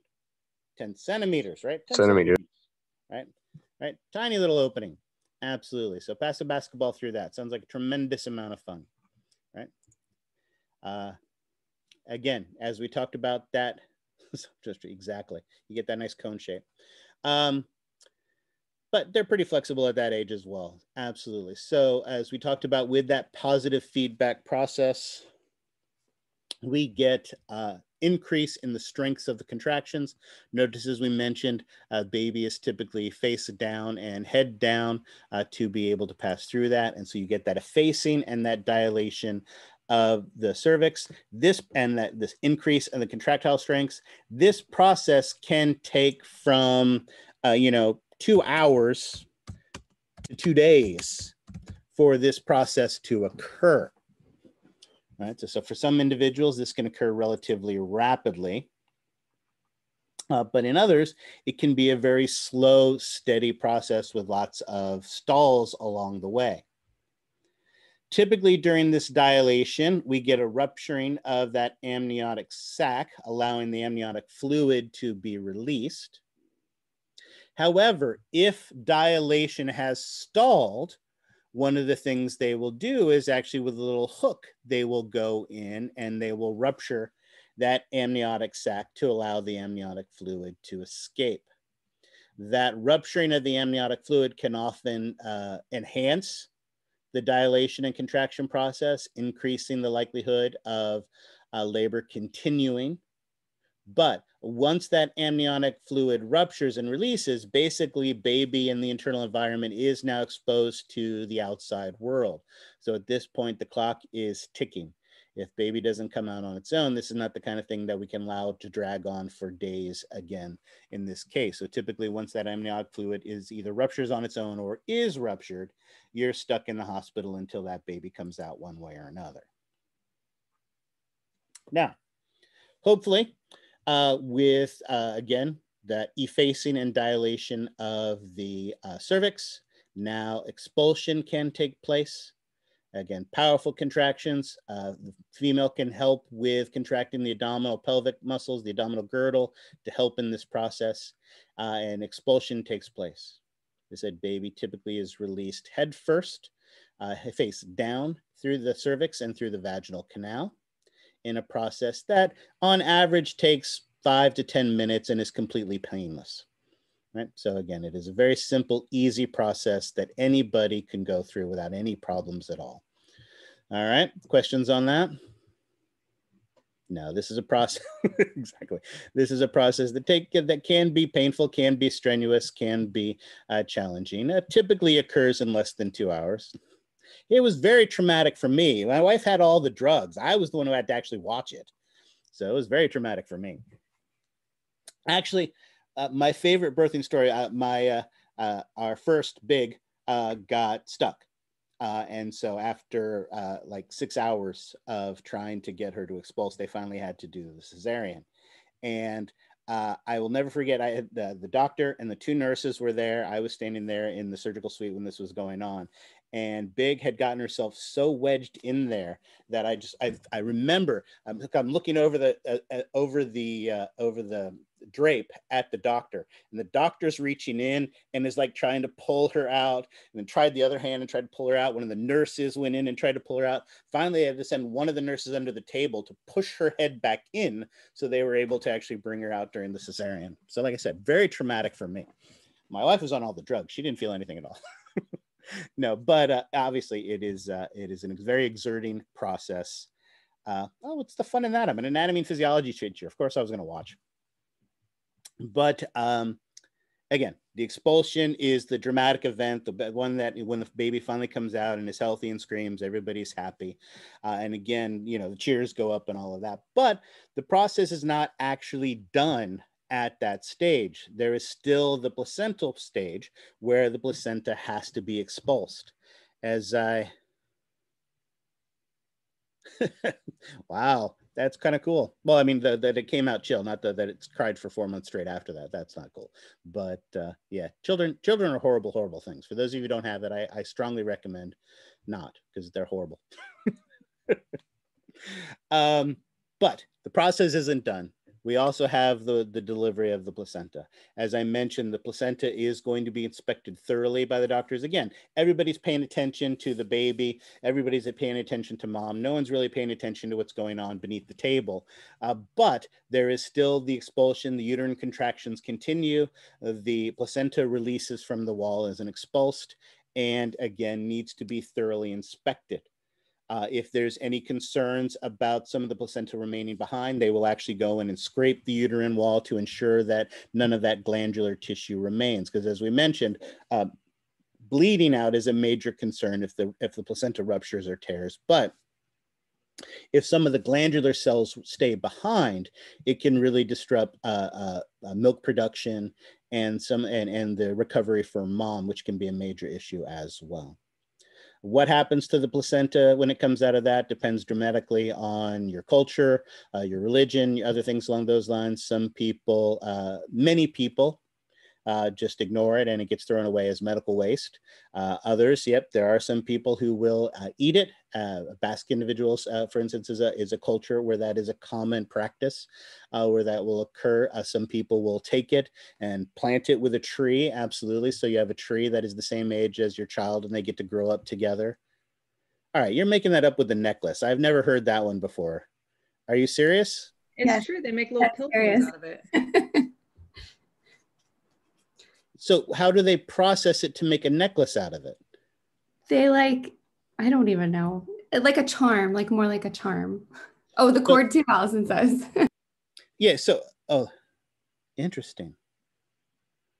I had never heard that one. So is it is it like like when people are like cremated and then they you know turn it into a gem or something along those lines, or is it, or you just have like a tube with a little bit of the stuff in it? That's that's They weird. like dry it out and grind it up, and that's how you can take it in capsule form also. Oh, But like that ground up stuff, they can like solidify it with, I don't know, epoxy or something, and they make they make shit out of it. How interesting. That's really interesting. All right, I guess that doesn't surprise me. Like I said, I know you can make diamonds out of uh, out of uh, out of you know people's cremated remains, or not diamond. I don't know if it's diamonds, but gems out of that. I've heard about uh, people with dogs. They're doing that. Came some kind of resin thing with their dogs with a paw print and stuff like that on it. So yeah, I guess I'm not surprised by that either. Um, umbilical cord is a great example also because the other thing that can happen with the umbilical cord is remember the umbilical cord still contains some of the umbilical blood uh, which will have some of those omnipotent stem cells. So they're individuals who will actually uh, donate it uh, to science. So much of the medical research that is done is not done on dead babies, but actually done on the uh, umbilical cord blood. Uh, you can actually pay to have it frozen so that 20 years from now, when we know how to grow livers, uh, that if your kid, you know, becomes an alcoholic and destroys their liver, you have that umbi- umbilical blood to be able, the umbilical cord blood to be able to grow them a new liver, li- liver and implant it in there. And obviously, because it's made out of their uh, stem cells, there is 0% chance of any kind of rejection from that taking place. So yes, all sorts of things can be done with the placenta and the cord blood uh, after uh, delivery takes place. All right. Questions on that? All right, that is labor, which leads us to our last bit of anatomy and physiology. We've already talked about this a little bit, but let's talk a little bit more about the mammary glands. Again, we can't talk about the female reproductive system without talking about the breasts. Uh, we've already talked about this a little bit. As we know, males and females uh, that have never been pregnant both have breasts. Uh, and that breast is primarily made up of adipose tissue and immature mammary glands. However, with that human chorionic somatomammotropin, those immature glands, mammary glands, mature to become the mature lobular glands that you see here.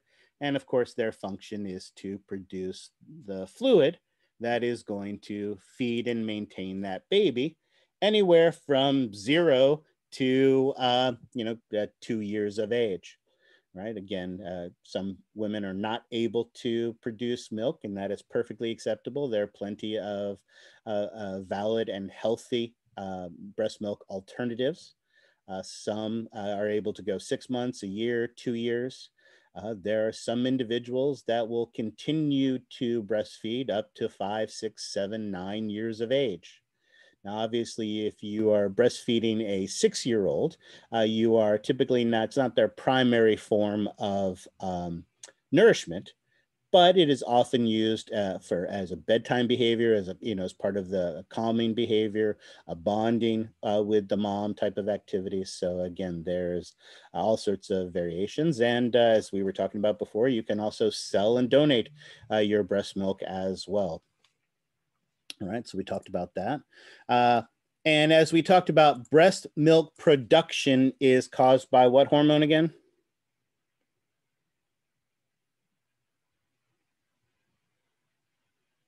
Prolactin. Excellent. Prolactin is that hormone that stimulates the breast milk production. Absolutely. Right. Uh, again, here we look at the anatomy of the breast uh, surrounding the mammary glands. We have that pectoral pec. Uh, uh, try that again. Pectoral fat pad, uh, the adipose that primarily forms the shape and structure of the breast. Obviously, the nipple is where the uh, openings for the sinuses are located for the expression of the milk. Uh, we need, again, baby's uh, sight is not that great, so having an obvious target uh, is important for helping it to be able to identify the location. So uh, not only do the nipples have an areola around it, but typically during the pregnancy process, those areola uh, increase in pigmentation increasing the contrast, making it easier for the baby to be able to identify it.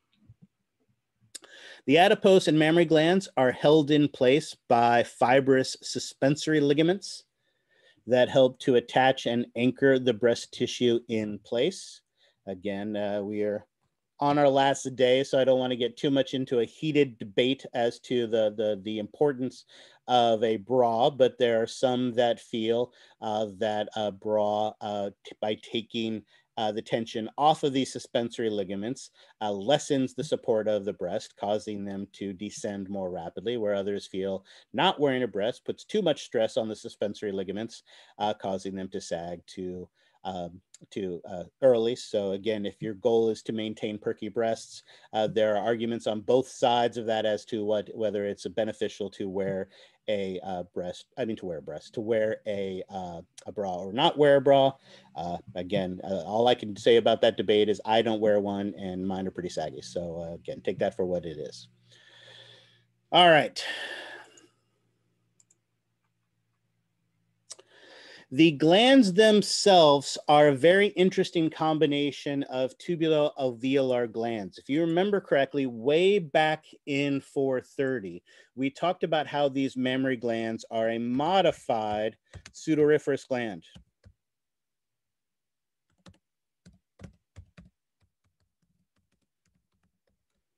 And because I'm sure all of you remember your 430 stuff so well, that means that structurally, they are primarily a simple coiled tubular gland. Uh, and functionally, uh, they are uh, use the merocrine mode of secretion, uh, where um, they just release their secretion via exocytosis. However, uh, these uh, glands are something that are still very closely being examined and identified, and there appears to be some potential of some alveolar uh, type of, uh, there may be some um, alveolar uh, components to this and remember also, if you think way back into 430, there also may be some glands here that use the apocrine mode of secretion.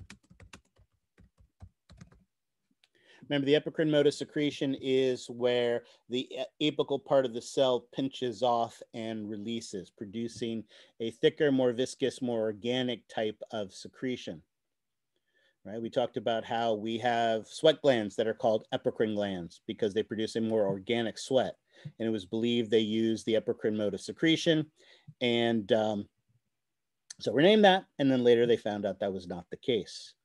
Uh, so they've been more reluctant to say that about the mammary glands. However, uh, one of the important things that, again, any woman who has breastfed before is usually aware of is that it is important to have the baby um, um, expulse all of the milk from a breast before you switch them to the other side. Because there's basically kind of two types of milk that are produced by the mammary glands. There's what they call the fore milk. The fore milk tends to be more watery, uh, tends to be more glycogen rich, and therefore is easier to be expressed. So it's very easy for the baby to get out. Then there's the hind milk, uh, which has more of the lipids and more of the proteins, a little bit more viscous. And so those two different components to the milk are something that um, may be caused by different alveolar components using a different type of secretion.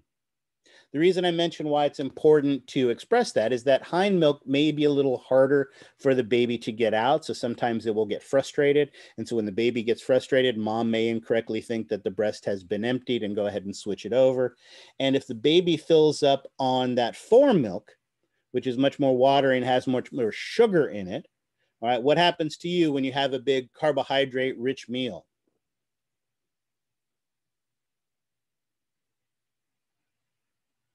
Nobody here apparently eats carbs. You're not full as long. Yeah, exactly. You're not full for nearly as long. So if the baby is whining and hungry again an hour, an hour and a half later, they might not have gotten enough of that protein rich, lipid rich hind milk, which can sate them for a longer period of time. All right, so typically you want to get them to fully uh, to uh, to fully uh, empty one breast before you switch them over to the other. Uh, then even if they do that halfway, then you then the next time start them on the second breast and switch back and forth in that fashion in hopes of being able to drain it. Uh, because not only is that better for the baby, it's getting that um, more protein rich, more lipid rich hind milk, but it also helps with milk production to maintain that milk production for a longer period of time as well. One of the awesome things about this process, and we'll talk about the reflex in just a minute, is it is also kind of a positive feedback type of process in that uh, the more demand, the more milk the mom is able to produce. So again, if you have one baby, you're able to feed it. If you have two babies, or even in some cases three babies, often mom is able to produce enough milk to be able to do that. It's milk on demand. So that's how you can have women who are able to breastfeed for you know five, six years. Uh, you can have women that are able to produce enough breast milk to be able to feed multiple babies instead of just one baby because it's very uh, it can't. And again, I'm probably I, I'm I'm painting with big broad strokes here about what it typically is. You know, I, this is one of those areas where uh, women can be highly sensitive. Not everybody's breastfeeding experiences have necessarily been positive. and again, it is perfectly acceptable to have problems and to have challenges and things along those lines. So I'm not by any means trying to say that the normal is that you should be able to breastfeed for nine years. That is not the case at all. There's all sorts of variations and experiences. Uh, it's about one of those things that you have to be open and honest with your lactation specialist about to be able to help you if you're having those challenges because many women have challenges with this and it is something that is perfectly perfectly normal. So i'm just talking eh, to the same way we talk about averages same time you know when we're talking about volumes of the tidal volume of respiration right? That's just a random number not a random number but it's just an average but it, it, it encompasses so much more. All the things i'm talking about here encompass so much more as well. So there is no just one way one normal to the way these things work. So i just want to make sure we talk about that all right. Uh, the other thing that those uh, the suspensory ligaments do is help to uh, divide the mammary glands into individual lobes made up of individual lobules. Notice also, as we talked about, it is the prolactin that causes the lobules to produce the milk. But as we also talked about, it is oxytocin that causes the milk to be released from those into the sinuses.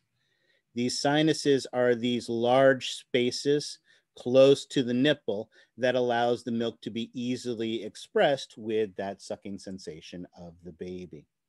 So we've got those lactiferous uh, ducts that lead into the lactiferous sinuses. And it is the sinuses that allow it to be expressed.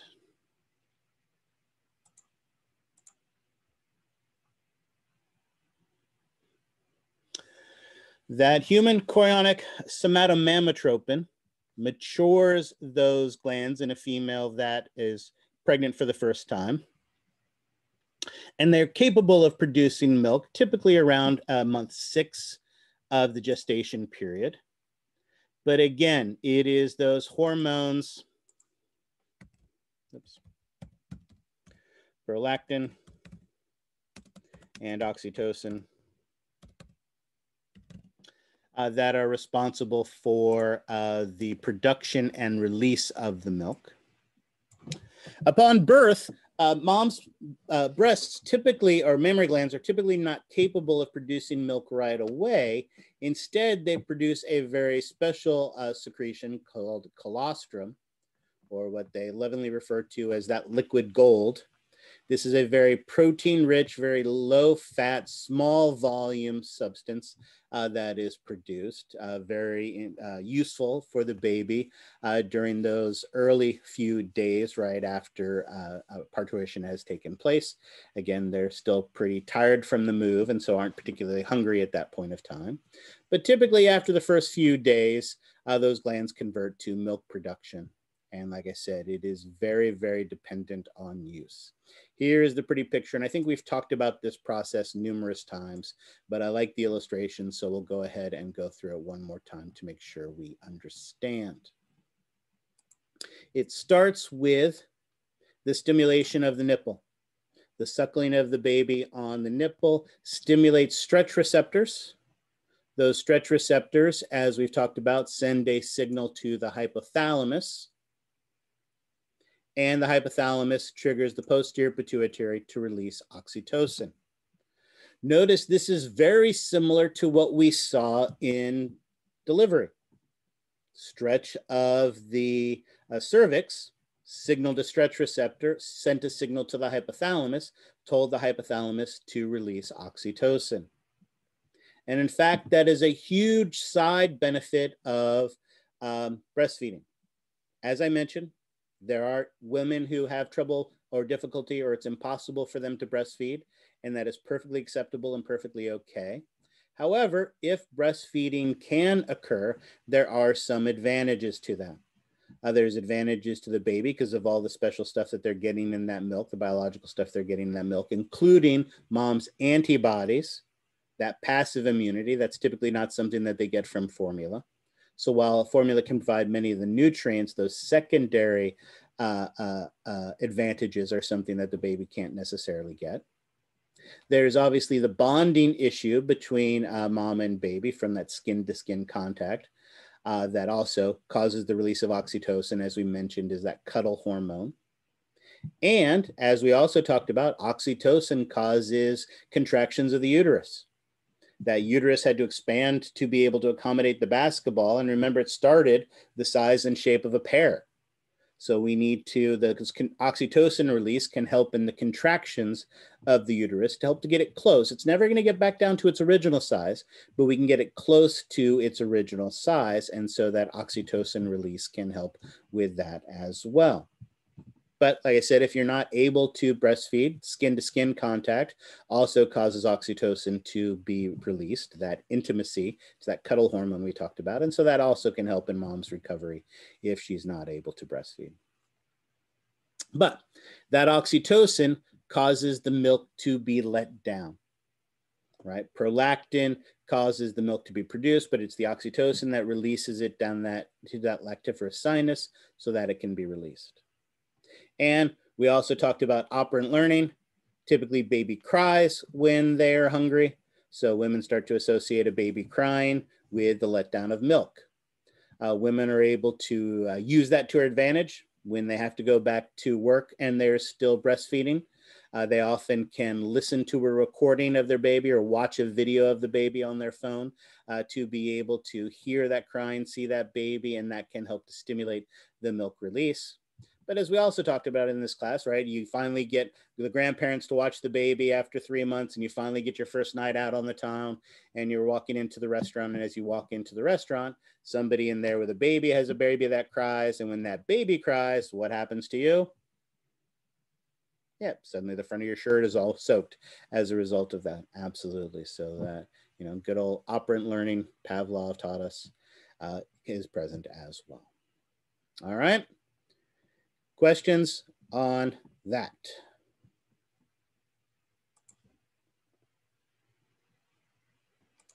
All right, well, in that case. I don't know if you want to do it now or during review. Um, looking at the histology, of breast tissue, I have no clue what is what. It's hard to tell in the slides. Sure, we can totally do that. Absolutely. Right. So let's let's save that for the review. Histology is good for the review. Anything else on the lecture? Can you just quickly go over the positive feedback process um, for um, parturition? I know you went over it. I just couldn't write that fast. No problem. Uh, so in, in some ways, we can use this picture for this as well. Because basically, if you think about if we cheat,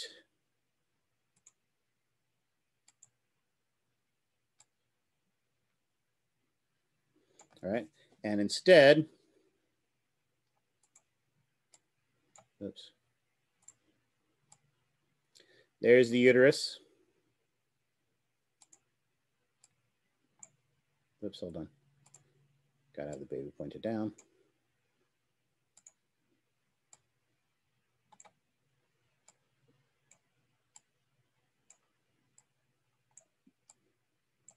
There we go. Excellent. So as we talked about, what happens is uh, prostaglandins being released by the placenta, the human chorionic gonadotrope, uh, human uh, chorionic, uh, pardon me, corticotropin releasing hormone, high estrogen levels, all of those things cause uh, a mild contraction of the uterus. And as the uterus contracts, it pushes the head against the wall of the cervix, where there are stretch receptors. These stretch receptors in the cervix carry a signal to the hypothalamus, triggering the posterior pituitary to release oxytocin. And that oxytocin triggers the uterus, the, the myometrium, again, if we want to be specific, to contract. When the myometrium contracts, that pushes baby even harder against the cervix, producing an even larger stretch, producing the release of even more oxytocin, causing a more powerful contraction, pushing even harder, sending an even bigger signal, causing even more oxytocin to be released. And this continues, and the contractions become more and more and more powerful. And with the dilation of the cervix, finally the, the contractions become powerful enough where the baby is expulsed. Once the baby is expulsed, there's no more stretch of the cervix. Once baby's out, the cervix stops being stretched. With no more stretch, there's no more signal to the hypothalamus, no more oxytocin is being released, and the process stops. But it doesn't stop till homeostasis is reestablished in the body. Baby is expulsed.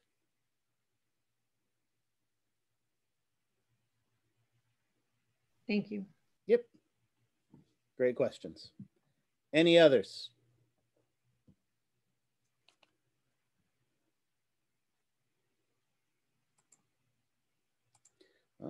Then, as the French say, fini. All righty. That is everything we need to talk about from a lecture standpoint. However, as I mentioned, I'm still happy to answer questions and I love the question about the histology. So let's start with that one first. However, uh, I'm not sure if I have good pictures of it. So let me see if I can find some good pictures. This is a good place to take our um, last break. So let's go ahead and take a 15 minute break. Uh, come back. Let's just make it a 10 minute break. So we'll take a 10 minute break, come back at 1030 and at 1030, I will answer any questions you guys have on the lab, lecture, or final exams. That'll give me a few minutes to find some good slides for the mammary glands, and uh, we will go from there. All right. And any other questions you guys have?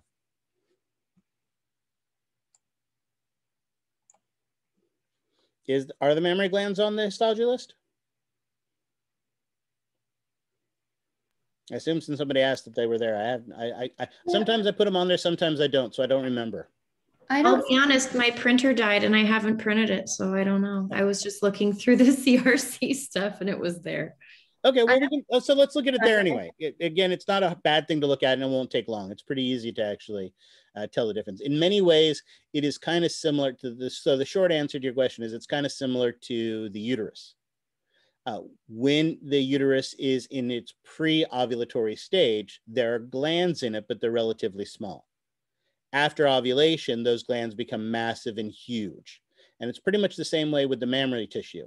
Uh, in the mammary tissue, the you see these tiny little branches uh, that then, when it becomes mature, becomes uh, large and massive. So we will take a quick look at that. It doesn't hurt whether it's on there or not. It's something we've talked about, so it's worth looking at, even if it isn't going to be emphasized on the exam. So let's come back at 10:30, and we will do that. All right, I'll see you guys in 10 minutes.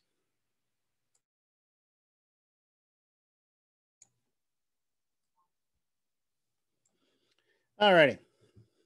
So I saw the debate in the chat before as to whether or not this is going to necessarily be on the exam and and uh, whether or not the histology there it's it's still a, a, a valid question and one that doesn't hurt and it's got a very easy answer to it.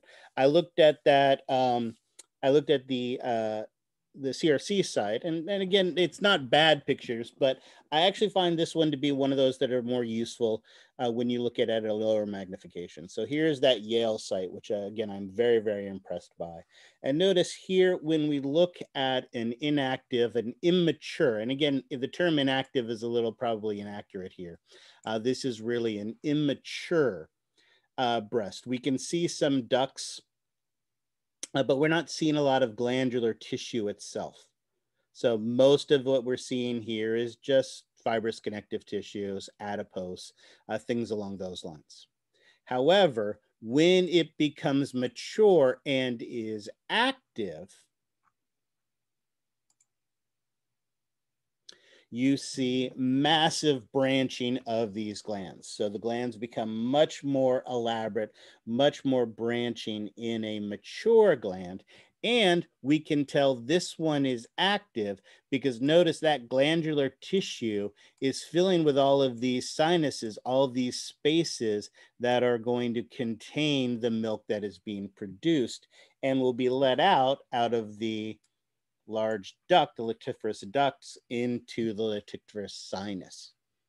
So not only can we see elaborate glandularization of this tissue, much more of the secretory structures, but if you think about it, this almost looks a little bit like the thymus. Remember, the thymus had those big, huge colloid filled uh, spaces. The difference between this and the thymus is those are all circular follicles, whereas here we have spiral tubular structures. So we see more irregularity in the shapes of these secretory structures, but we can see they're filled uh, with that secretion because they're actively producing. So, like I said, whether or not it's something that's emphasized on the histology, I think it is very, very easy to distinguish between an immature and a mature uh, mammary gland just because of the difference of the size, the difference of the glandularization. And when it's active, it's even more large and more elaborate. All right. So again, I think it's still a valid question whether or not it's emphasized on the histology hamlet that you guys have. It is useful that way. All right. So as always, the review is your opportunity to ask me questions on anything. Again, uh, this is an opportunity, our last opportunity to talk and meet before uh, the last lab and lecture exam, but also uh, if everything goes well, this may be the last time I see you, well, really ever, which also brings me to the last thing I want to say. I know half of the people have left already, but for those of you who are, are left, I want to uh, thank you. For many of you, uh, it has not just been a, uh, an, an insane semester together, but an insane year together as well. The past two semesters that we've been online have been a truly uh, unique and surreal situation.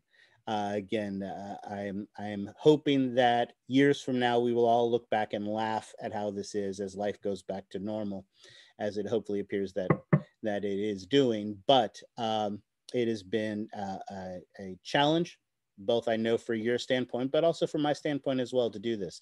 This is a class that is very hands-on. and uh, some of us have spent the past year together and never actually met in person. And so it is a very surreal situation. Uh, I uh, wish you all tremendous success moving forward in your academic careers. I hope you're able to get on and do the things that you uh, want to do and are successful.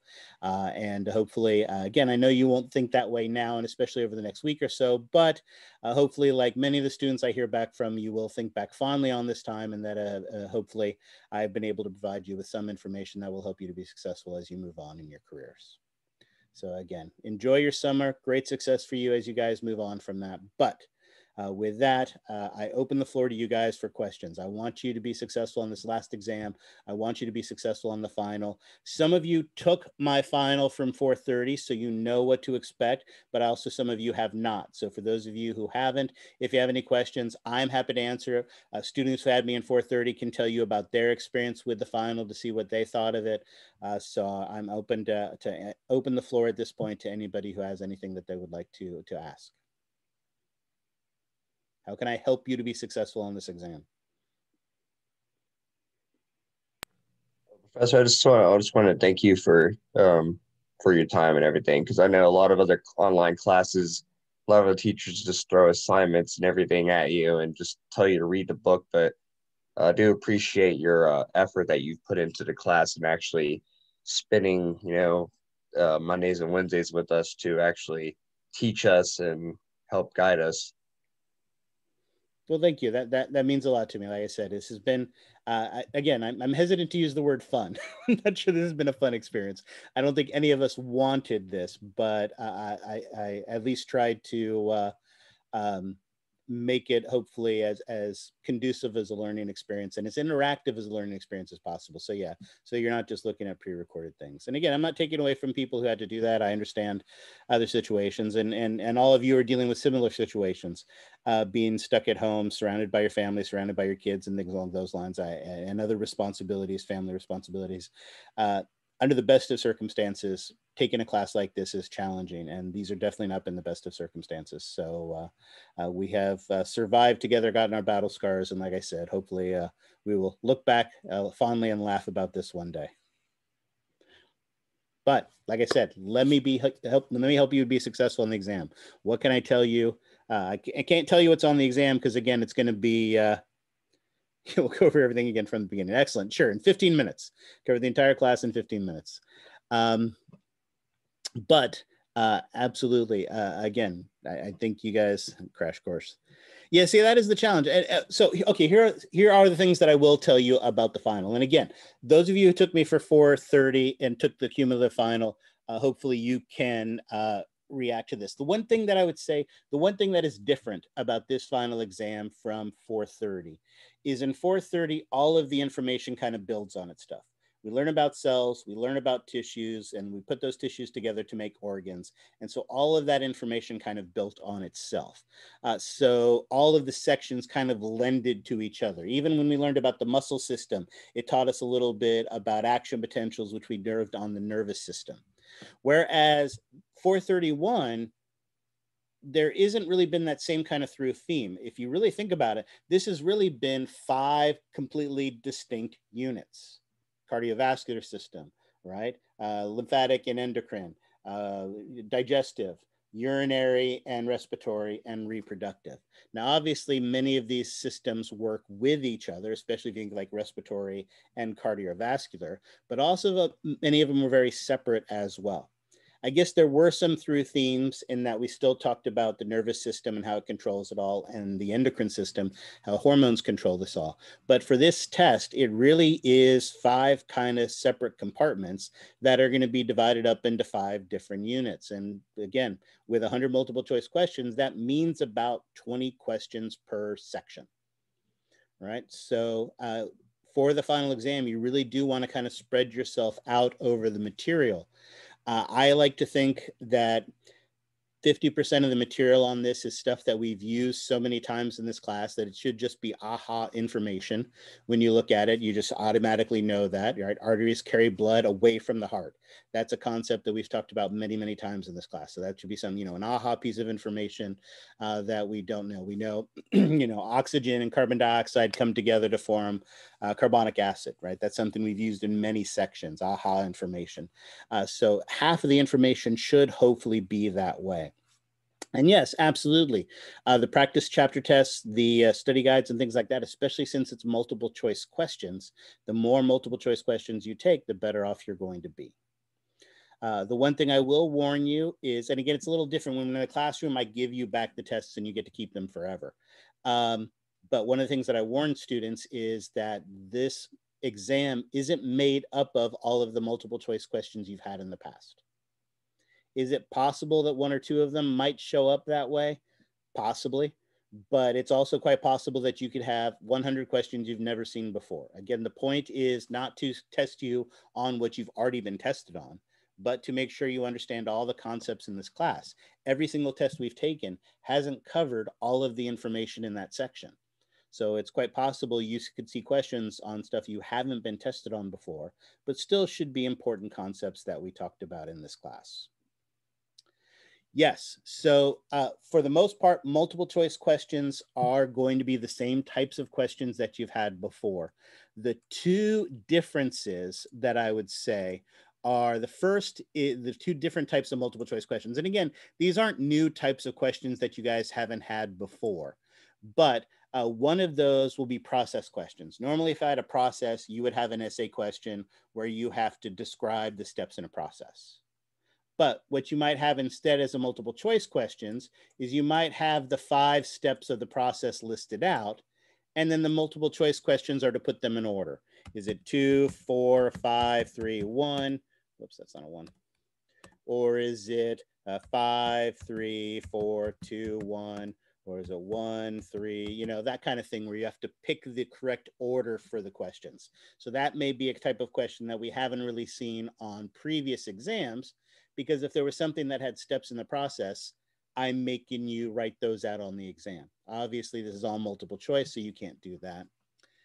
The other is while the there is no anatomy final exam, uh, there could be some um, anatomy type pictures. And my guess is it would easily be less than 10% of the questions. So my guess is probably somewhere five to eight questions or something like that. But again, it is somewhat random. But one of the questions is you may see a picture of a heart that has a bunch of labels on it. And it may ask you to identify uh, the structure uh, with label one. And you, of course, would look at that and see that that is indeed the left ventricle. And that would be awesome. Right? I know it's not the left ventricle. I made that up. Uh, it's uh, the, the right atrium, but you get the idea. So it might there might be those kind of questions as well. Again, it's not going to be a, a large component. There may be a few in there. I wouldn't spend too too much time on your anatomy, and it should be you know uh, basic stuff. The, the example that um, I used in 430, I can't think of a good example off the top of my head, but uh, for instance, in 430, um, you learn the origins and the insertions of all the muscles on the final exam, I wouldn't make you remember that the short head of the bicep brachii connects to the coracoid process of the scapula.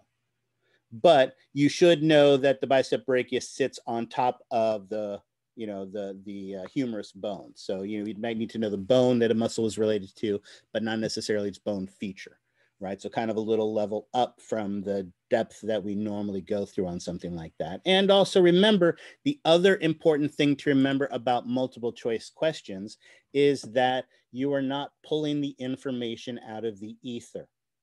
When you have a multiple choice question, the correct answer is given to you.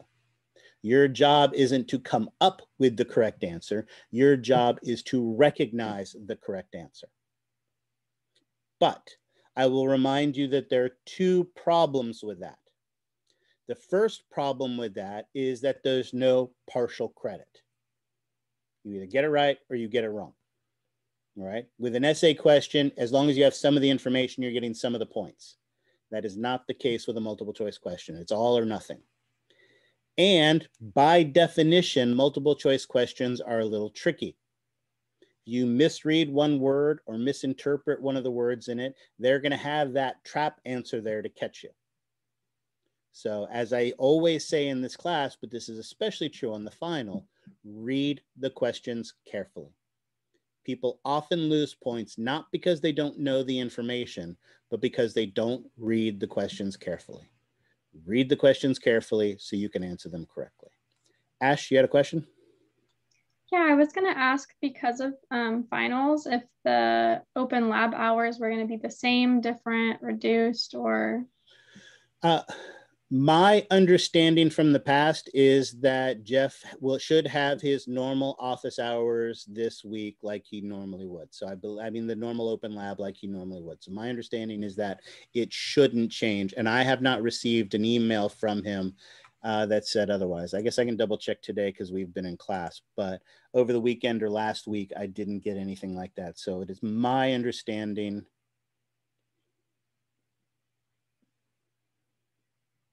Yeah, I haven't heard from him otherwise. Uh, so it's my understanding that the uh, uh, open lab will be the normal hours this weekend. Yeah. Okay, thank you. Yep.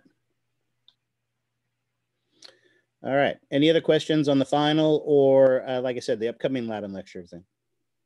Um, I've been trying to figure out sample essay questions um, between the, the hormone levels, the uterine cycle, the ovarian cycles, and I mean, a lot of that information is all kind of inner woven, but do you have any kind of examples so I can try to? So, uh, so uh, you you you have you're correct with the females. One of the problems with these is that the information is much more interwoven with itself.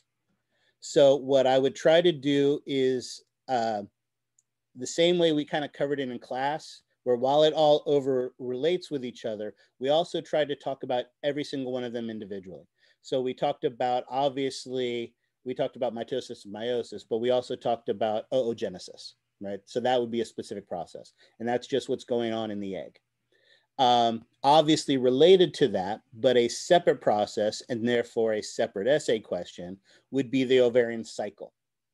Well, obviously the egg changes during the ovarian cycle. The ovarian cycle was much more about what was happening to the follicle cells right? Their transformation from follicular cells to granulosa cells to that tertiary follicle to the corpus luteum to the corpus albicans and everything that went along with that, All right. Um, that process we know was regulated by the hormones, controlled by the hormones. So we talked about how we initiate the hormone cycle in the females, but we also talked about how follicle stimulating hormone and luteinizing hormone drive these processes and drive the production, not just of the follicle, but also the hormones as well. So if we don't focus as much on the follicle or as much on the egg, but instead talk about the hormones that are being controlling and being produced, right? We can talk about hormonal control of that. So that would be an essay question. And then obviously those hormones that are produced by the ovary, not only do they affect the anterior pituitary, not only do they drive the follicular process, but they also drive the uterine cycle. So then obviously the uterine cycle and the effects of estrogen and progestins on that uterine cycle would be an essay question as well. So what is that, five essay questions basically from the female process? Something like that. So I would try to focus on those individual components of it when you were doing those essay questions. Yes, they overlap. Yes, it's okay to mention those things, but uh, you know, if you're talking about uh, the ovarian cycle, for instance, don't get bogged down into the process of the uneven division that takes place in that primary oocyte as it becomes a secondary oocyte in the first polar body. That's not really, yes, that's occurring at the same time, but it's not really a part of the ovarian cycle, right? We know when it becomes tertiary, uh, a, a follicle, we have a secondary oocyte at that time, but I don't have to spend a paragraph talking about, you know, meiosis one in the egg uh, as part of that. So try to focus solely on what the question is asking, right?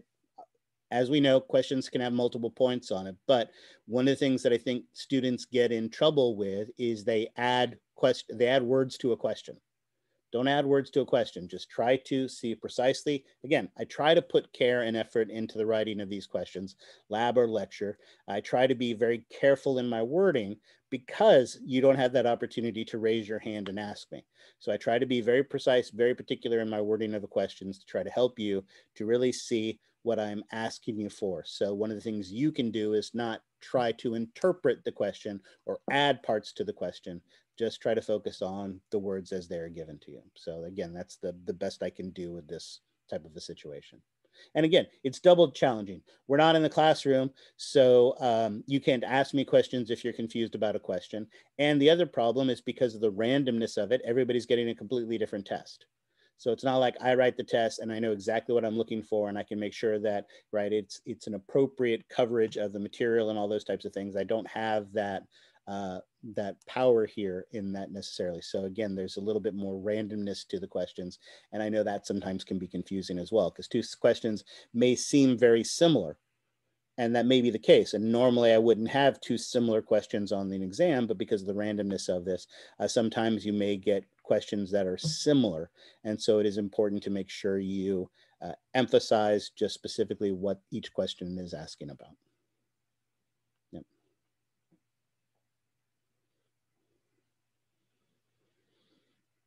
Anything else?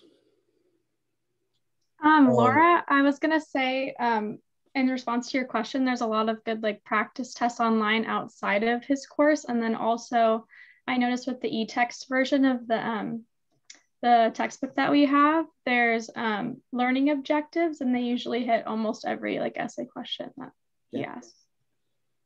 Again, it's one of the things I like about this class. This class is hard. I don't have to be tricky, right? I know you guys have to put the time and effort into being successful on this. So like I said, when I can, I try to, you know, like I tell you, you know, I, I, told you, for instance, that you know one of the transport pathways for the uh, for you know the the, the uh, for the proximal convoluted tubule was going to be an essay question. Uh, as Laura pointed out, I mean, uh, we spent the beginning of this class, this section, two days, I think, basically talking about mitosis, meiosis, uh, spermatogenesis and oogenesis, right? So uh, there's a half dozen possible questions that we could do on those types of things. And the, I guarantee one of them is going to be on your exam. I have no idea which one, right? Maybe you'll be describing spermatogenesis. Maybe you'll be uh, comparing oogenesis and spermatogenesis.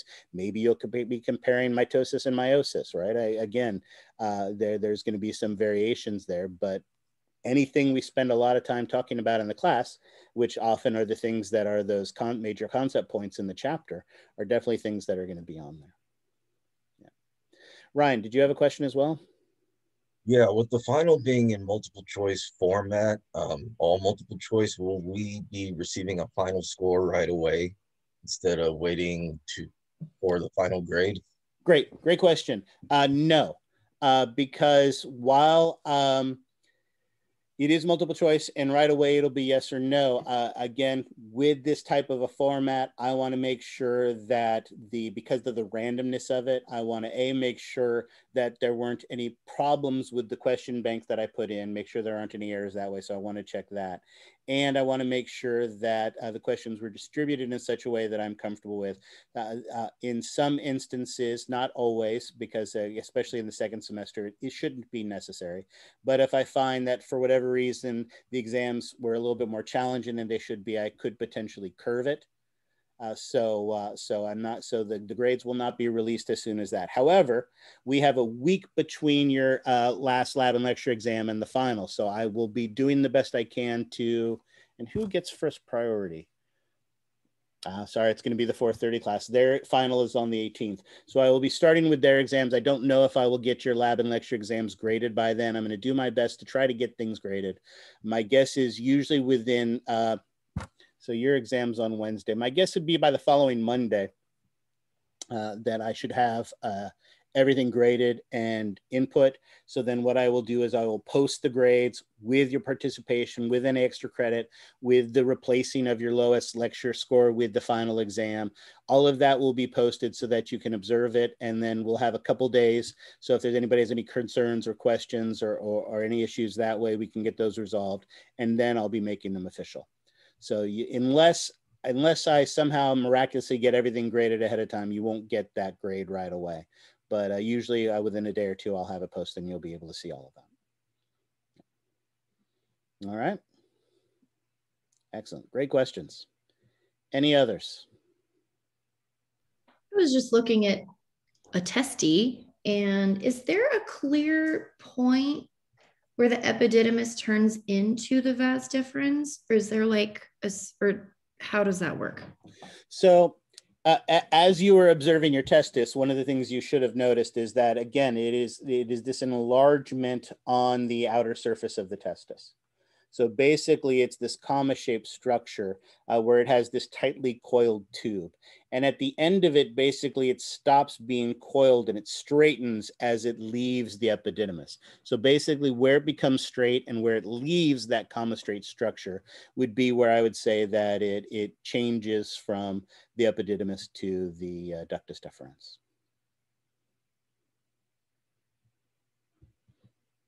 Yeah, histologically they're different as well, but again, you're not responsible for the ductus deferens histologically, so we don't have to worry about that.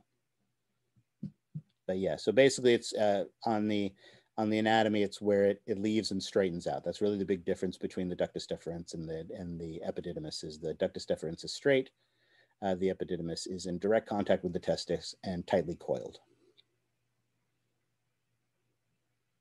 Remember in that in that small little comma shaped structure is 30 feet of tubing. So it's packed in there.